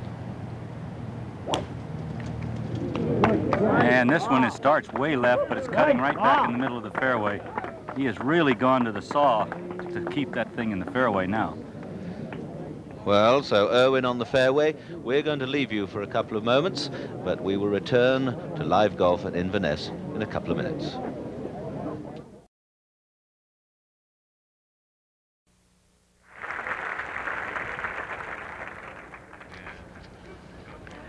They're fighting at home in the winds of Inverness in the United States Open Golf Championship. This is Jim McKay with Dave Marr at our ABC and at the moment also BBC anchor position behind the 18th green. All of this action going live across the Atlantic by satellite as well as all across the United States. Al Geiberger for a par now on the 18th hole. He has not had a good day, seven over for the day. This was Jerry Pate just a few moments ago for a par that he certainly needed and made to stay at two over for the tournament in a tie for third place with Gary Player, who's finished. Now Al Geiberger live for the par four. He bunkered his second shot on the short par four 18th hole. And he's glad to get that round out of the way. 78 today for Al Geiberger. Been having a good year though, Jimmy. Won at Colonial a few weeks ago, and uh, anytime you win a golf tournament at Colonial, you've you've played uh, one of the best courses in this country. Certainly true. Al Geiberger, who once shot 59 in competition.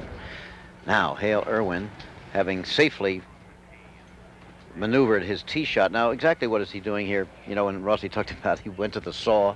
Well, what he's trying to do is to cut the ball. Uh, I'm assuming it's uh, a left to right, uh, right to left wind rather. So he's Mm. going to try to hold it in the fairway. If there's anything Hale needs to do right now is just hit the ball in the fairway, and he can't get in any trouble. If he can make a couple of pars, the game's over.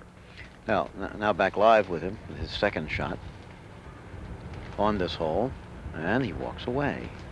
Going to change clubs. Never the greatest sign of confidence. About what do you think he's hitting, Bob Rosburg? You're out there. Well, he's got about 190 yards, and uh, I would just think that in his mind he's not sure how he wants to play the shot. The wind is really coming out of the left, and that's the hardest shot in the world to play when you're when you're trying to get in. You're, you're trying to, to hit some kind of a shot that you can control, but with the wind coming as strong as it is from left to right, it's hard to hold any kind of a shot in it. I would think that he's taking a four iron and going to hit it hard.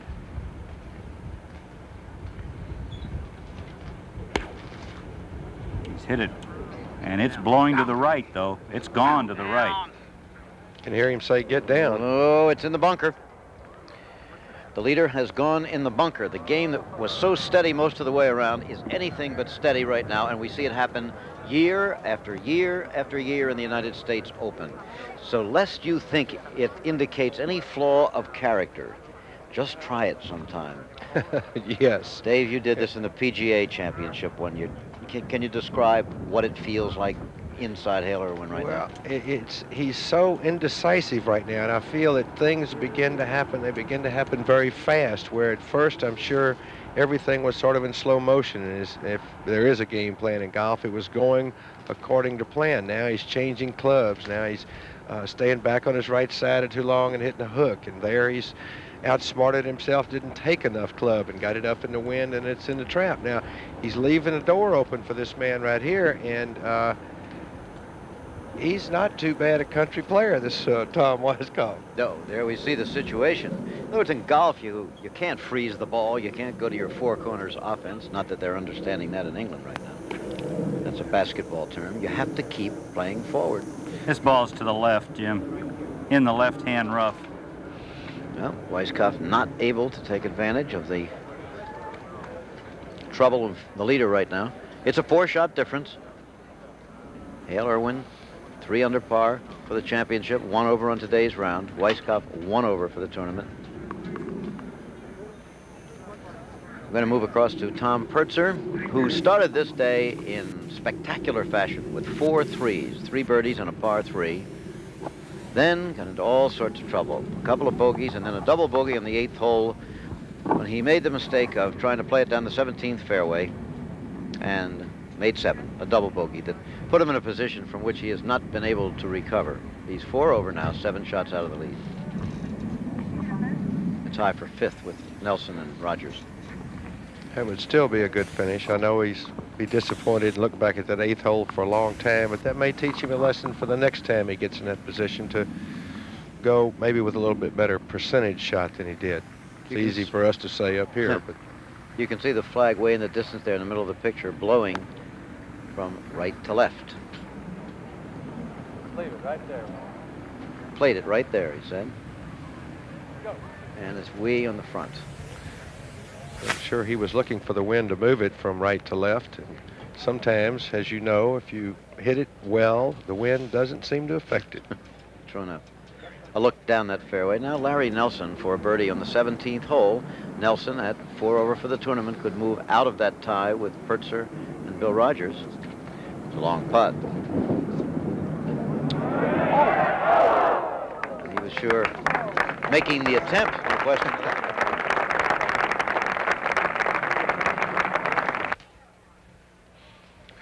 All right, there is Larry, who was co-leader of the tournament on Friday night. Tom Purtzer.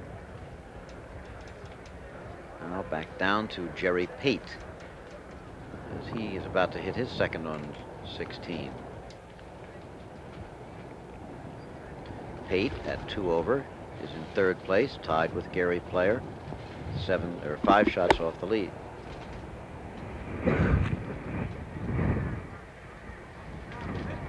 Ooh, beauty. Good shot. Yep.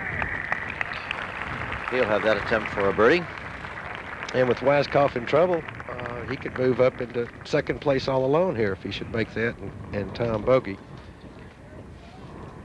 We're a long way from dark here. By the way, Toledo is on the edge of the eastern time zone in the United States. Here's David Graham, an Australian. Regular, however, on the American tour. David at five over for the tournament is definitely on the leaderboard. Playing the 18th hole, a 354-yard par four. Pin position a little easier today than it has been earlier in the tournament. Now that'll come down. That watch might it, watch be it, real right at the good. flagstick. Watch this. Mm. How sweet it is. Now Weiskopf with his third shot on the par four hole, trying to get it close. He must make sure of his par. Good shot. Yep. Okay. All right. No sure thing, but he's certainly got a solid shot at the par here. What of the leader, Irwin? He's not up there yet. Well, that puts the pressure on Hale. Now he's in that trap, still to play his shot. And this is one of those awkward little bunker shots that you have. It, it's you've got a lot of that tall grass between you and the green, and you've got to hit it hard enough to carry over that, Jim. All right, here's the shot now.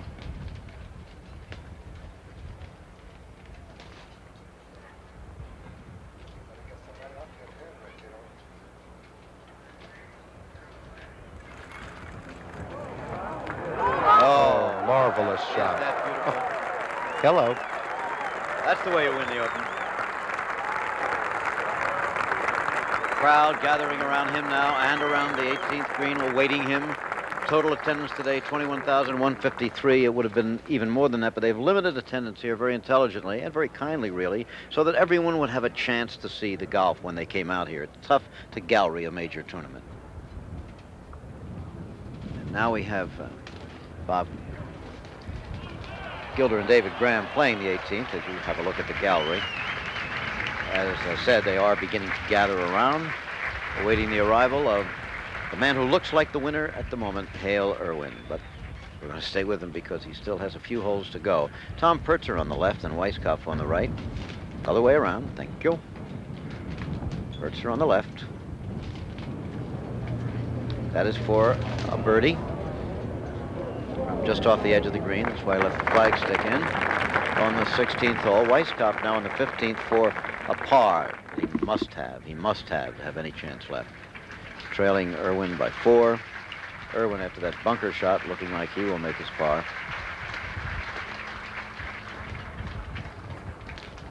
I'm studying it. He had hoped so much for victory here today in his home state of Ohio. On a golf course where he first saw a major golf tournament as a young kid 22 years ago.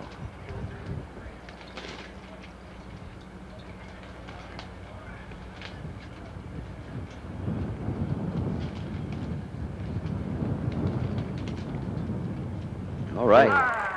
Well done. So the par four for Tom Weiskopf.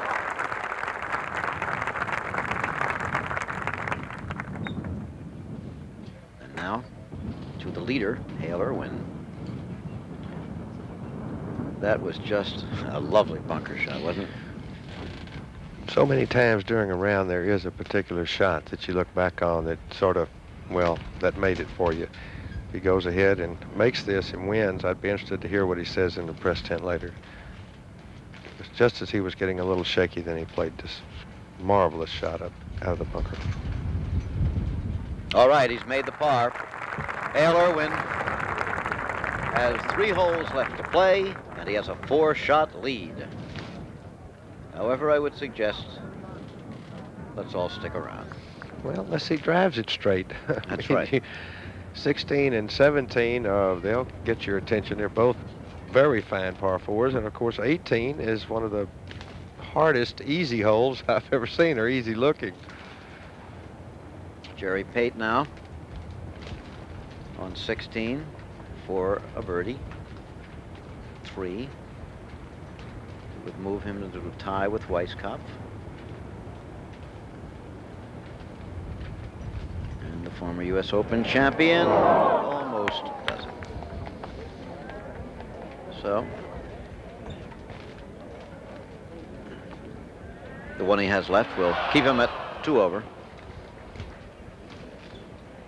The battle beginning to look like it's for second place, but as we said, you really can't quite say that when anybody has three holes to play in the United States Open. Here's the man who has a chance. He hasn't been able to make the birdies where he has needed them and where he's had the opportunities on the back nine. 405 yard, par four. We'd like to check the wind situation again with you, Bob Rosburg, on this hole. It's blowing almost straight across from right to left. Uh, I wouldn't doubt that Tom would hit an iron off this tee. I can't see what he's got in his hand. He's got a wood. He's going with a wood, Rossi. Well, I'm very surprised. Looks like he started to the right. And it has gone into the bunker, just and, and very close to the lip. I don't think he's going to be able to get it to the green. David Graham finishing up. David is five over for the tournament. So birdie. Gonna Put him back to four over if he makes it. Yep. No, couldn't do it. So he'll stay at five over for the tournament. David Graham, he started the day at three over, so that'll be a round of 73. Par here, remember, is 71. By the way, we saw a couple of people miss putts that short on this hole yesterday. now Irwin. They're taking their time. Okay, Hale. He's also got a wood, Rossi. I imagine he'll cut it into the wind and, and try and hold it in there. And he looks like he's hit a pretty good one here. This is right down the middle of the fairway. Perfect. The momentum seems to have returned to Hale Irwin for a couple of holes. The shakiness that attacks all potential Open champions seemed to have gotten to him a little bit. But that bunker shot, as Dave Marr said on the last hole, may have really done it for him. There you see the way they stand. Gary Player, as you see, has finished his round. He had 68 today. The broad fairways of Inverness. We're going to take a break here shortly and then come back to finish it up to bring him home in the U.S. Open at Inverness.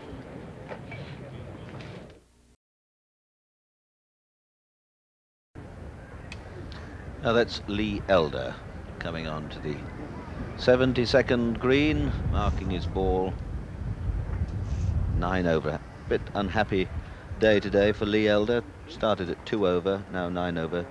Dropped two strokes at the 17th hole. That's how they are. Just three holes to go for Hale Irwin, and that's one of the splendid camera views we have looking down on the golf club at Inverness. There's Hale Irwin on the 16th, just consulting the book, looking at the yardages. This hole, 405 yards.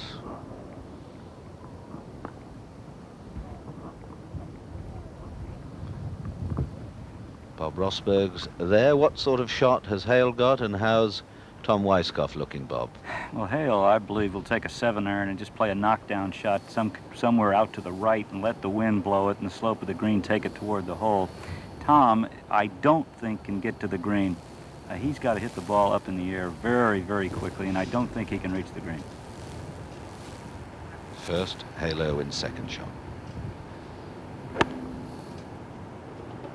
Hale's got it going right at the flag. Beautiful looking shot. Yes, gets the backspin, just goes rolling back five, six, seven paces beyond the hole. Another splendid iron shot. Four ahead and nicely on the green. Oh, and there's Tom Weiskopf. This is sort of a funny spot, Peter. Uh, it's right now it looks like Tom is pretty well out of winning the golf tournament, but I guess you never play for second. He knows he's probably got a shot lead uh, for second, but he's still trying to win the golf tournament, and you just have to take a shot at trying to knock this ball in the green rather than taking a wedge and knocking it halfway.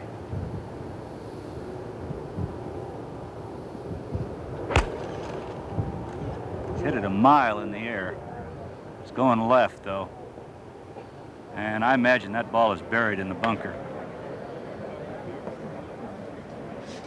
Uh, Weiskopf looking down and wiping the perspiration from his brow.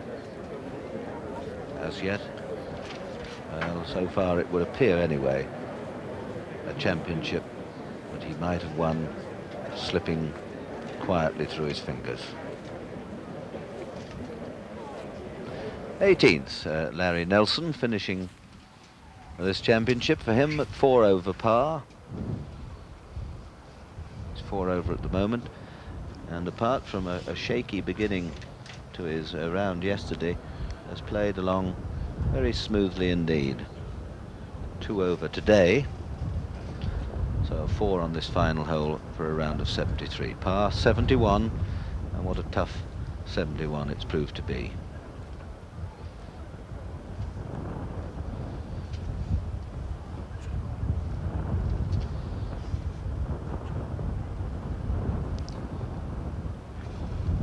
Yes, well done.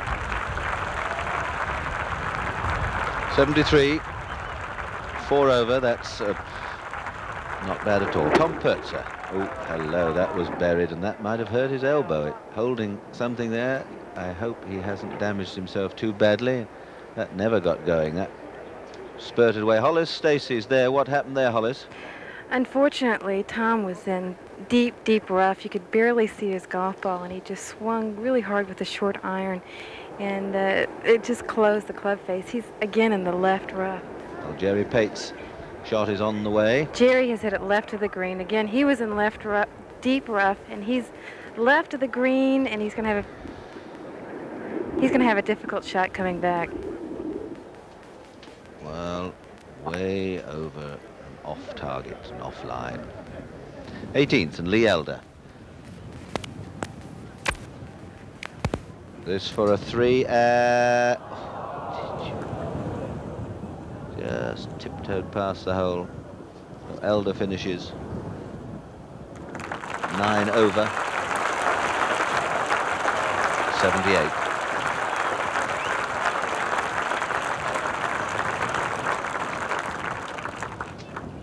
Purtzer. Again in the rough. There's Weiskopf now with an awkward stance. You can see at the 16th he's out of the bunker. Ball looks to be well below his feet. Ah, good shot.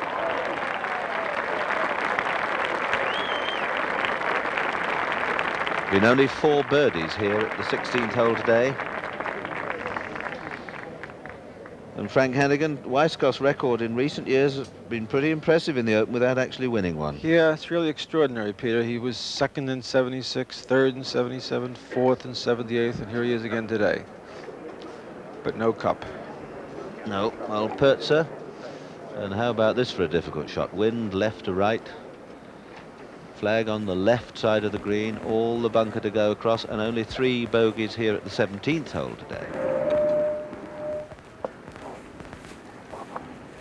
Three birdies, Gary Player had one of those, and there he plays it safely and sensibly onto the green and has a shortish putt, but it'll be for a par. Jerry Pate going across to his ball. Pate two over, now level with Gary Player. And Player could well, well, who knows, finish second. David Graham, good score for David, although he missed that short putt on the last hole. Jack Nicklaus finishing with a almost uh, a vintage round for Nicklaus, but as he said himself, he just couldn't get it together early enough. Now Irwin for a three at the 16th.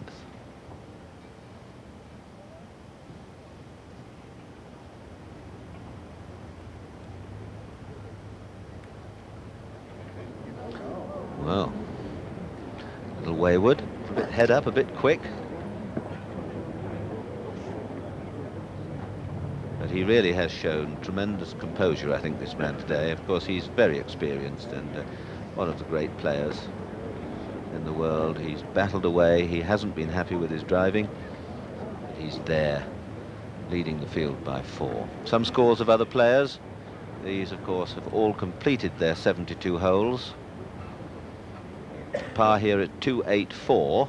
So you see Lon Hinkle plus 20, 304. Weiskopf for a par at 16th.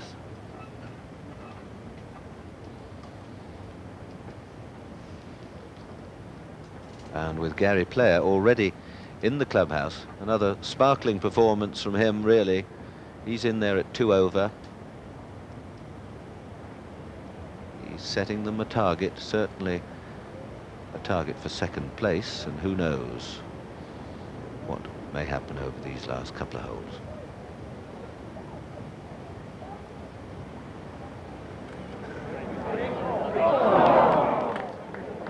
Nice putt, well struck.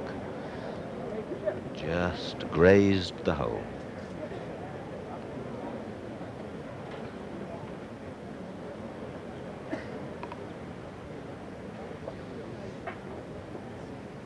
A lot of tension and a lot of people here, Frank, and uh, play, I suppose, from the USGA point of view. Do you look upon this as a rather slowish round, or do you take that all into account when you time these things? Meanwhile, it would just have a look at Pate now playing his third shot at the 17th, scuttling it through the edge, and uh, it's a pretty good effort from there.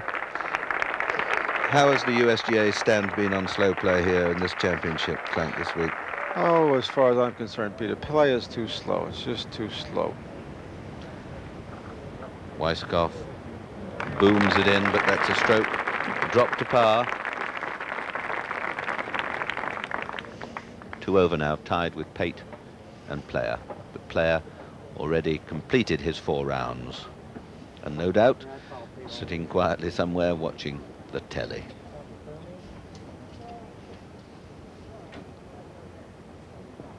Owen at the 16th. Is four.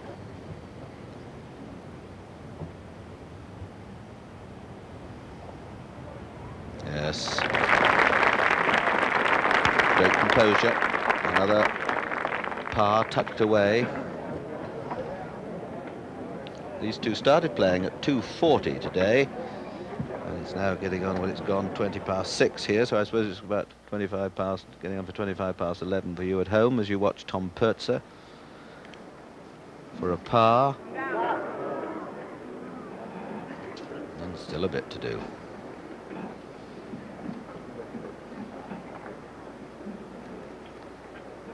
Purtzer five over, started the day at one over.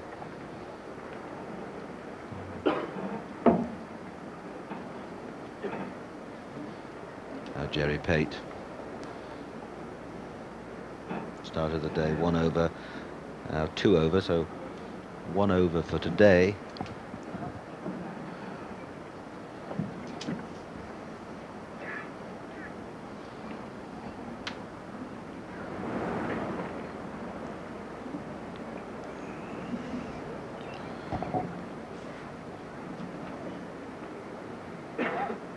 Pate, a very smooth putter.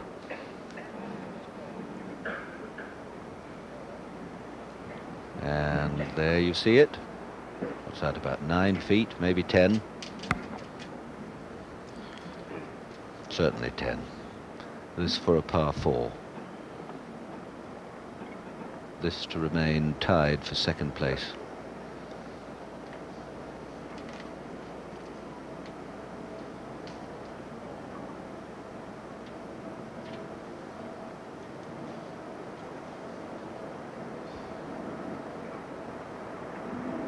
Just touched it. Oh, went wriggled away and look at the speed. 17th tee now, Hale Irwin, leader by five.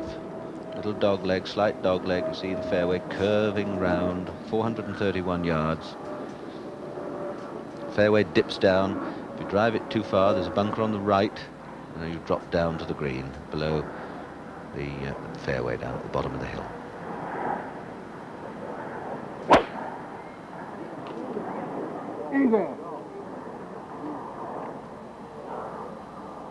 That ball's way to the right in the rough. Very, very short. And he's behind a tree, but a little tree on the edge of the fairway. And I don't know, our camera angles or camera angles generally can be rather confusing. And we'll have to wait and see whether, in fact, that tree will influence Irwin's second in any way. Uh, Weiskopf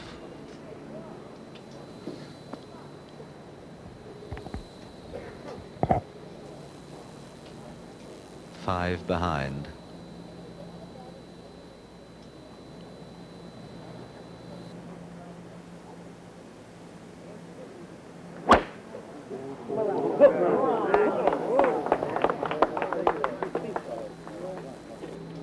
That ball's also to the right, well to the right in the rough. Uh, he's some 40 yards past Hale Irwin. Well, we're going to leave you, but we shall be back to show you the climax of this year's Open Championship at Inverness.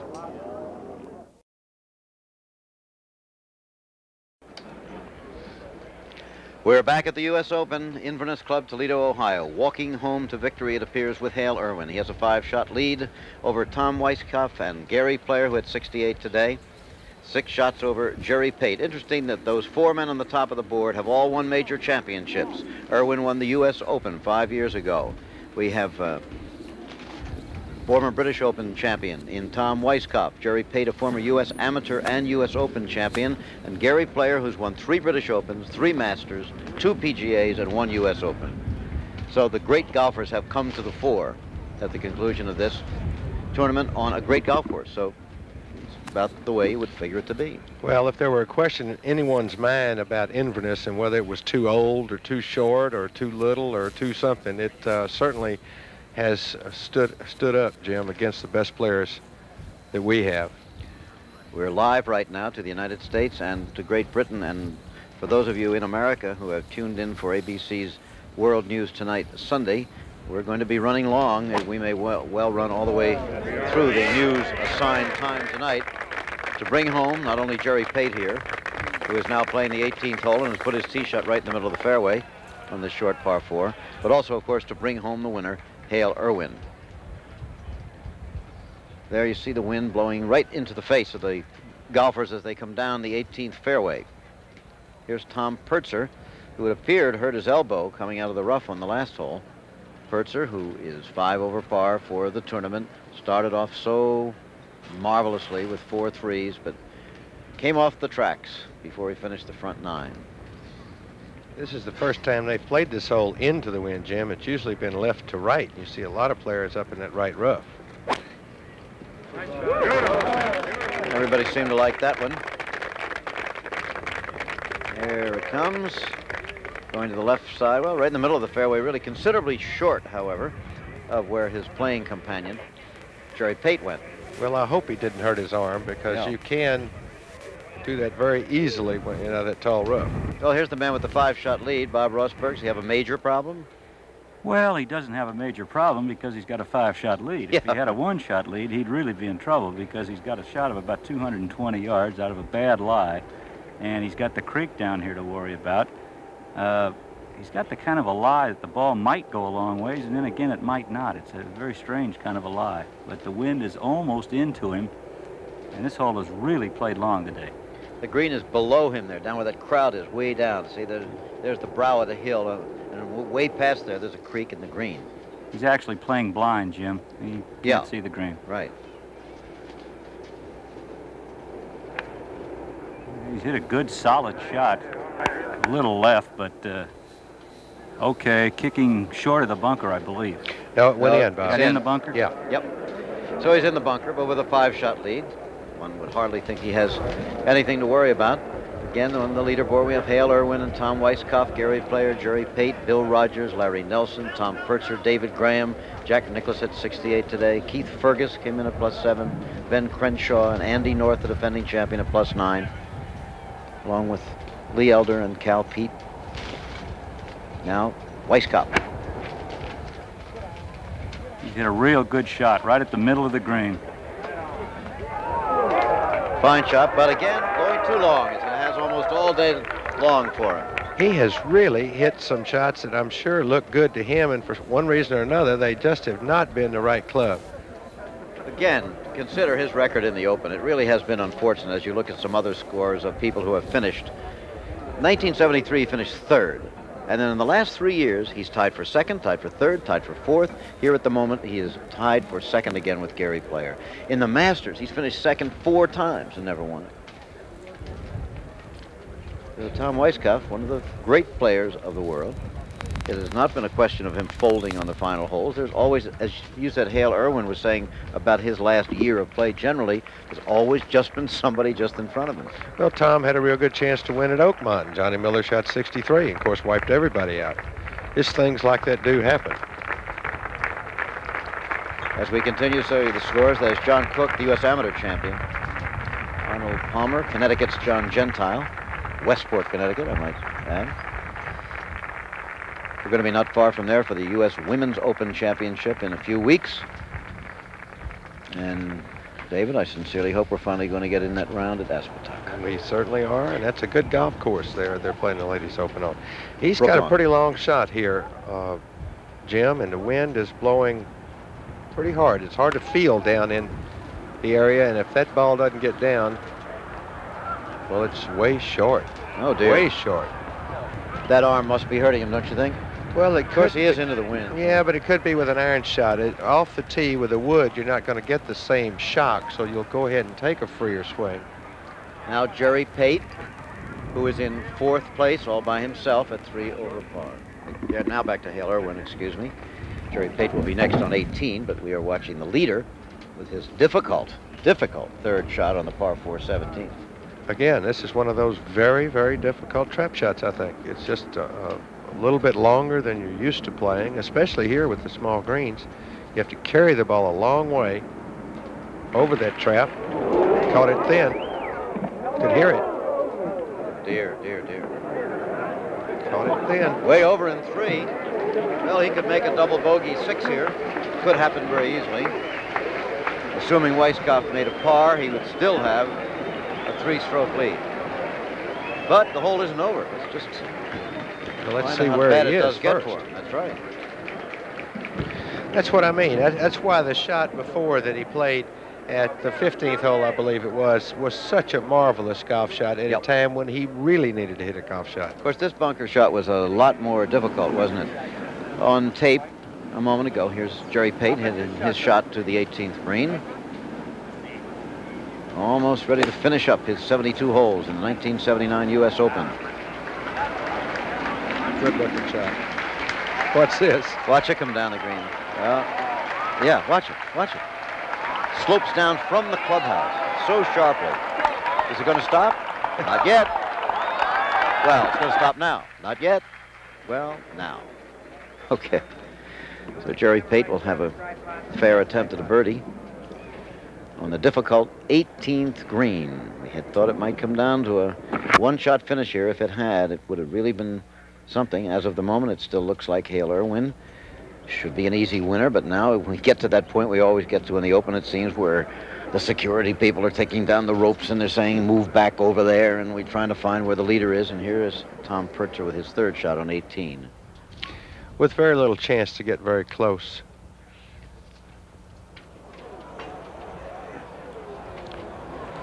Yes. Well, that's about all. Yeah, all you could do. Yesterday there were 10 rounds under par here, only four today. Yeah, that just shows you what a little breeze will do. It's always harder to score in the wind as opposed to the rain.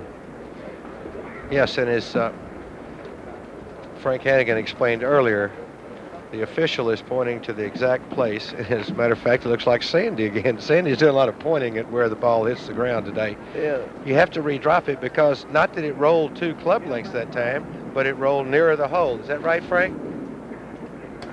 Yeah, that's exactly right, David. The ball, when dropped, uh, must be redropped if either it rolls more than two club lengths or closer to the hole. In this case, it rolled closer to the hole. Okay. Ball's in play. That was the voice of Sandy Tatum, the president of the USGA, making the ruling. He said the ball is in play, and so it will be. Now the leader, lying three on the par four hole. Well, he's not as bad off as I first Yeah. uh, uh, assumed he may be uh, over that green. Obviously, he's not as bad off as Rossi pointed out. He has a five-shot lead. Yes. Still want to make sure of it. Again, if you've just tuned in for the news on ABC, doesn't look like you'll be getting much of it, if any, tonight because of the fact that this major event in the world of sport, the United States Open Golf Championship, a national occasion really, along with the sports event, has run a bit long, as they tend to do when anybody plays golf nowadays. well, they had a couple of penalties this week for slow play. Yes.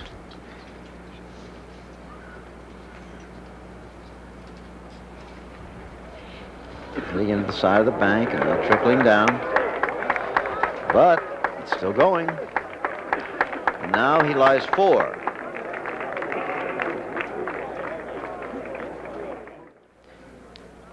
Now Tom Weiskopf. He lies only two. Now, uh, let's just let our minds work here a little bit. If this man should happen to chip this in, whoops, and then birdie the last hole, and Hale makes six, that would mean he'd have to par the last hole to win by a shot. That's right. So it's, it's even though one day you may look back and see that Hale Irwin won the U.S. Open by two or three shots, it, it sounded like an easy win, but strange things can happen as Jerry Pate gets ready for his birdie putt at 18, which would put him in a tie with Weiskopf and Gary Player at two over par. That's right. And he's done it. Jerry Pate started the day at one over. He will end at two over, a fine round of one over par, 72. Now Weiskopf with his third shot on 17. Oh, needed a good deal more of that. So every time even a small opportunity opens up, it seems to go a glimmering for him. It's been a long way around. These men are tired, aren't they, David? Oh, the pressure, sure. When you and when you are under this much pressure, you're concentrating for four hours, four and a half hours, or whatever, and of course you're always a little more tired if you don't win. Yes. Hale will be dancing at the Savoy tonight, I believe. Tom Purtzer for a bogey five now. He's five over for the tournament. Needs this to go six over. It will not drop. Yes, it will drop him out of a tie with David Graham, even if he makes it. Will finish ahead of Jack Nicklaus, Keith Fergus, and Yep. If he misses, he'll drop down into a tie with Jack Nicklaus and Keith Fergus. Nicklaus, who shot 68 today. Nicklaus, of course, will be defending his British Open title soon, and we will be there. ABC Sports will be at the U.S. Women's Open, British Open, PGA, Ryder Cup, U.S. Amateur. Okay? still a good finish, Jim. And, uh, probably finish up high enough where he won't have to qualify next year, and maybe even an invitation to Augusta, which is looking at the positive side of it. Five over par, 76 for Purtzer. Now back to Irwin with his fifth shot on the par 4 17th hole. Tournament leader by five. And he should tap that in for a two over par six. That will cut his lead at least over Gary Player to three shots. Tom Weiskopf still must make his par. And Jerry Pate, too. And. Jerry Pate, right. Gary Player and Jerry Pate, both of whom are in. Jerry Pate, remember, had a 72 today to add to earlier rounds of 71, 74, and 69. Tom Purtzer opened with 70, then had 69, 75 yesterday, and 76 today. Tom Weiskopf needs this for par, as we said. He's had rounds of 71, 74, a fine 67 yesterday. On today's round, however, he's three over. If he misses this, he'll be four. Big swing right to left on this putt. And fast. Miss it, he did. Four over on today's round, and now three over for the tournament.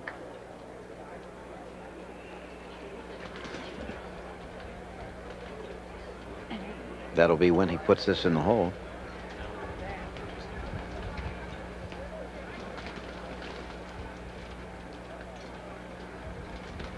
There it is.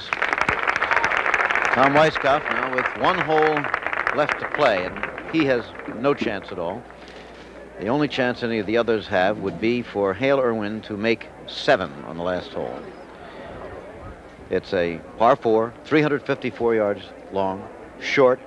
It has its difficulties, however, this hole.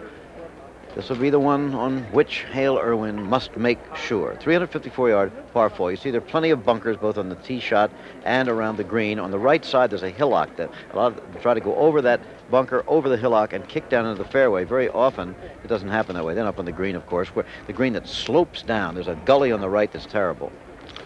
Not only terrible, you just can't make make a par from there. Yeah. Pin placement a little bit better if you get up in there today because it's all the way on the other side of the green, but still terrifying shot. You don't want to be to the right on your second shot. The entire gallery now gathering around 18, ringing the entire hole. This hole was lengthened a little bit uh, because they felt, uh, I assume the USGA felt it was a little short, but uh, the hole still plays quite long because a lot of the players you lay up with a three wood or a one iron now against the wind. They're using drivers today, some of them. Well, the big roar you heard was the gallery on 18 just finding out that Irwin made a six on 17. They say, whoops. Yeah, but they haven't put Weiskopf's score up yet, so they're not No. they're not sure what Tom has done. Well, of course, we still know that, that Pate and Player have held steady because they're sitting in the clubhouse, probably watching all this. Tom Weiskopf has hit what looks like a good shot. Yeah, it's right in the middle of the fairway, but quite short. Quite short. Back where Purtzer was on Yeah. his drive. Yeah. But he hit an iron. Yes. Now, let's see what Hale Irwin elects to do. If he makes another six, he will still win the United States Open. If he makes seven, we all come back tomorrow for a three-way playoff with Gary Player and Jerry Pate. If he makes seven, he won't be here. He'll, he'll do injury, bodily harm to himself. He'll take a driver. Looks like it. That ball's to the right. Somebody said that ball's to the right. That was Bob Rosburg. It is sure in the deep rough. However, Almost don't- got back. Don't panic, Hale Irwin fans. He's not that far from the green. Most unlikely he would make seven. Not impossible, but most unlikely. Well, the side of that hill has been pretty well reaped this week with all the guys up there. Divots have been flying off the side of that hill all week, and they've hit a lot of good shots from there. So it's not too deep there. Uh, Bill Fleming's down with Jerry Pate right now. Let's have a word with him. Win this tournament. Jerry Pate is just saying, can you believe I made two double bogeys? Continue the thought. Well, I figured even par would win the golf tournament. One under for sure would win it, and uh, I hadn't had any double bogeys all week, and I consider myself one of the better drivers in, on the tour, and I drove the ball terrible today. And of course, you drive it bad in a U.S. Open golf course, you get in trouble. You're going to make double bogeys. What did you think when you saw that uh, one go up by Irwin's name just moments ago with that double bogey at 17? Well, I think Bill, it's almost too far out of reach, but uh, you know, you, you you never can tell. Uh, he'd have to make he'd have to make seven here, and he's in. I think he's in the deep rough, but I don't think there's any possibility. But the thing is, um, you know, I just feel bad about the way I played. You know, uh, of course, so does Gary Player and Weiskopf and Purtzer and everybody else that had a chance. But uh, you know, I felt all day I had a chance to win the golf tournament, and uh, uh, double bogeyed. Uh, five, and then I double bogeyed uh, nine. I just got in too big a hurry, didn't hit my drives the way I wanted to, and wasn't using my legs, and uh, that's the name of the game, driving it. Got in too big of a hurry? What do you mean? Well, I just uh, I didn't really hit a bad drive on five. It was in the edge of the rough. I hit a poor second shot, but uh, nine. Uh, Tom and Purtzer and I played down number 17 fairway today on number eight, and uh, we wondered about that. Well, I was in good shape. I should have birdied there too. Hit a poor bunker shot, but uh, we took a long time, and I rushed over to number nine tee and didn't really get set. And I hit a poor drive. I hooked it left under the trees, so uh, that cost me, and uh, that's just uh, that's there's no excuse for it. And The uh, margin for error is very slim in a U.S. Open, right, Jerry? It sure is, and uh, you can't say enough for uh, driving the ball in the fairway. You know, putting is, is great. I putted well, and putting is great uh, to be a good putter, but uh, you, you must drive it in the fairway in a U.S. Open. There's always next year. Let's go back to Jim. In other words, of all the words of tongue or pen, the saddest are these. It might have been. Weiskopf. It might have been for him.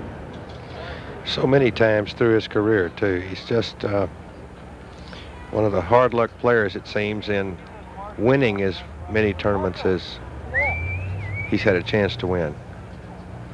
He's waiting for the couple of marshals up there to move over a little bit. Now, again, this is a shot that you haven't seen much this week. The hole is playing against the wind, so it's a club or two longer than the players are used to playing. Saw Purtzer a moment ago leave it way short of the green. Birdie here, of course, would put him into that three-way tie again for second place, it appears. Yep, bunker.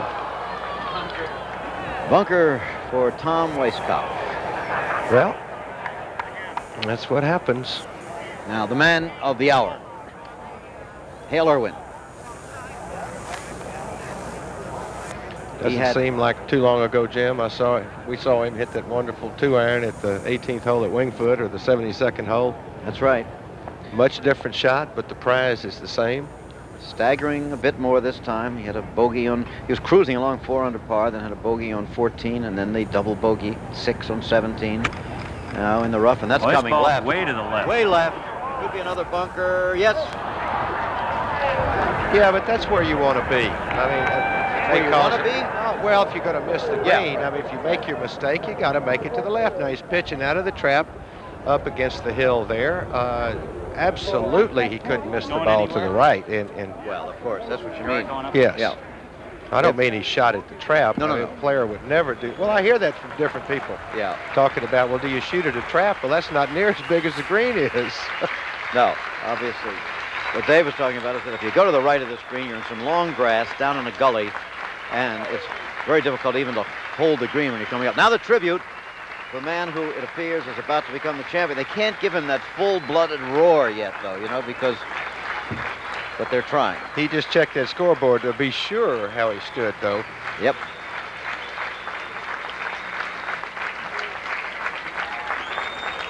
Time enough for the great roar when he finishes up this hole. Well, he hasn't won in a long time, and I'm sure uh, this will make up for all the times that he came very near to winning and didn't get there. He couldn't pick a better tournament to win than the United States Open. He didn't look like a winner on the first day here. He had 74, three over par. He, he was down there with an awful lot of people at that point. Came back on Friday, however, with a 68. Yesterday, shaved another stroke off, 67. Today, well, he's three over par at the moment, but he was steady when he had to be. And now, must merely get that ball out of the bunker and onto the green, and it's going to be all over. But Tom Weiskopf will play first.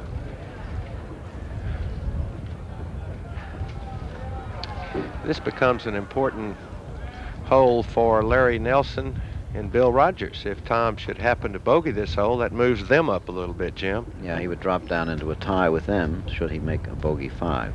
This his third shot. And again, he looks over. There's a little bit of noise to the left of the green. Now, now total silence. Must be, well, they said the gallery was almost 21,000.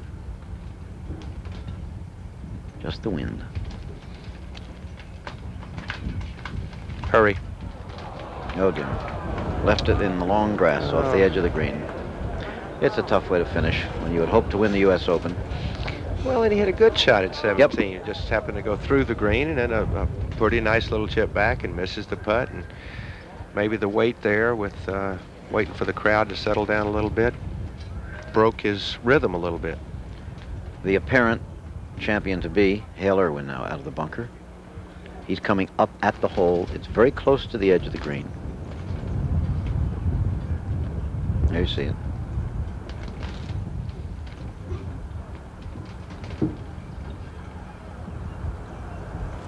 There it is. There it is. Good shot. And I'll tell you, he's very glad that's over. Mm. now maybe we can see a little grin or think about his acceptance speech or whatever. Yep, he has three putts from there for a victory. Tom Weiskopf, meanwhile, now has a tough shot to make sure of a bogey five. Well, you'll get your one of your last chances to look. He's taking a putter out of there. Should he make six here, he would drop down past Bill Rogers and Larry Nelson into a tie with David Graham. I'm uh, interested to see what he does with this uh, putting out of the tall grass because this is so fast going that way down the hill. Yeah, it really is. If you hit it hard enough to get out of the tall grass and or you jump it, heaven forbid that you jump that grass, you'll knock it through the green on the other side. Hale Irwin will win. Gary Player and Jerry Pate will tie for second and third. He's played a marvelous Boy, shot. he did. And still takes that break. He'll have that one for the bogey five to finish in a tie for fourth place with Bill Rogers and Larry Nelson. It's Irwin to be the winner. The coronation about to come. Again, Gary Player and Jerry Pate tying for second and third. Tom will go ahead and putt out here. Uh, Yeah. He talked to Hale about it already, and just go ahead and get uh, finished. That's the general etiquette that you'll see. So the winner can finish last and they can give him the roar and they don't have to wait for someone else to hold out. Well, Or to be yeah. impolite to somebody else holding Right. out.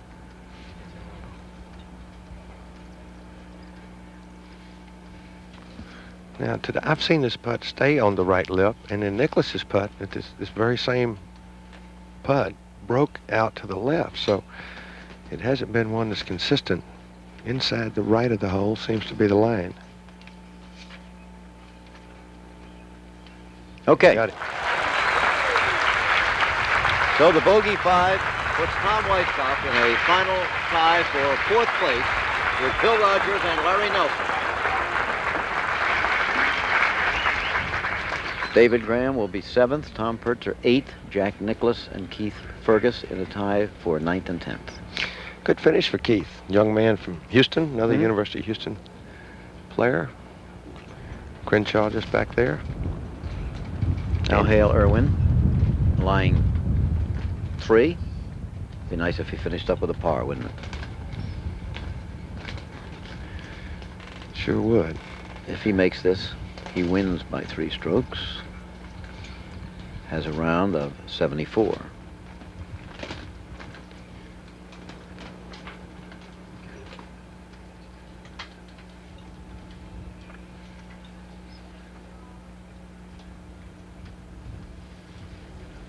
Nope. The little one to come back now. Even if he misses this one, he still wins.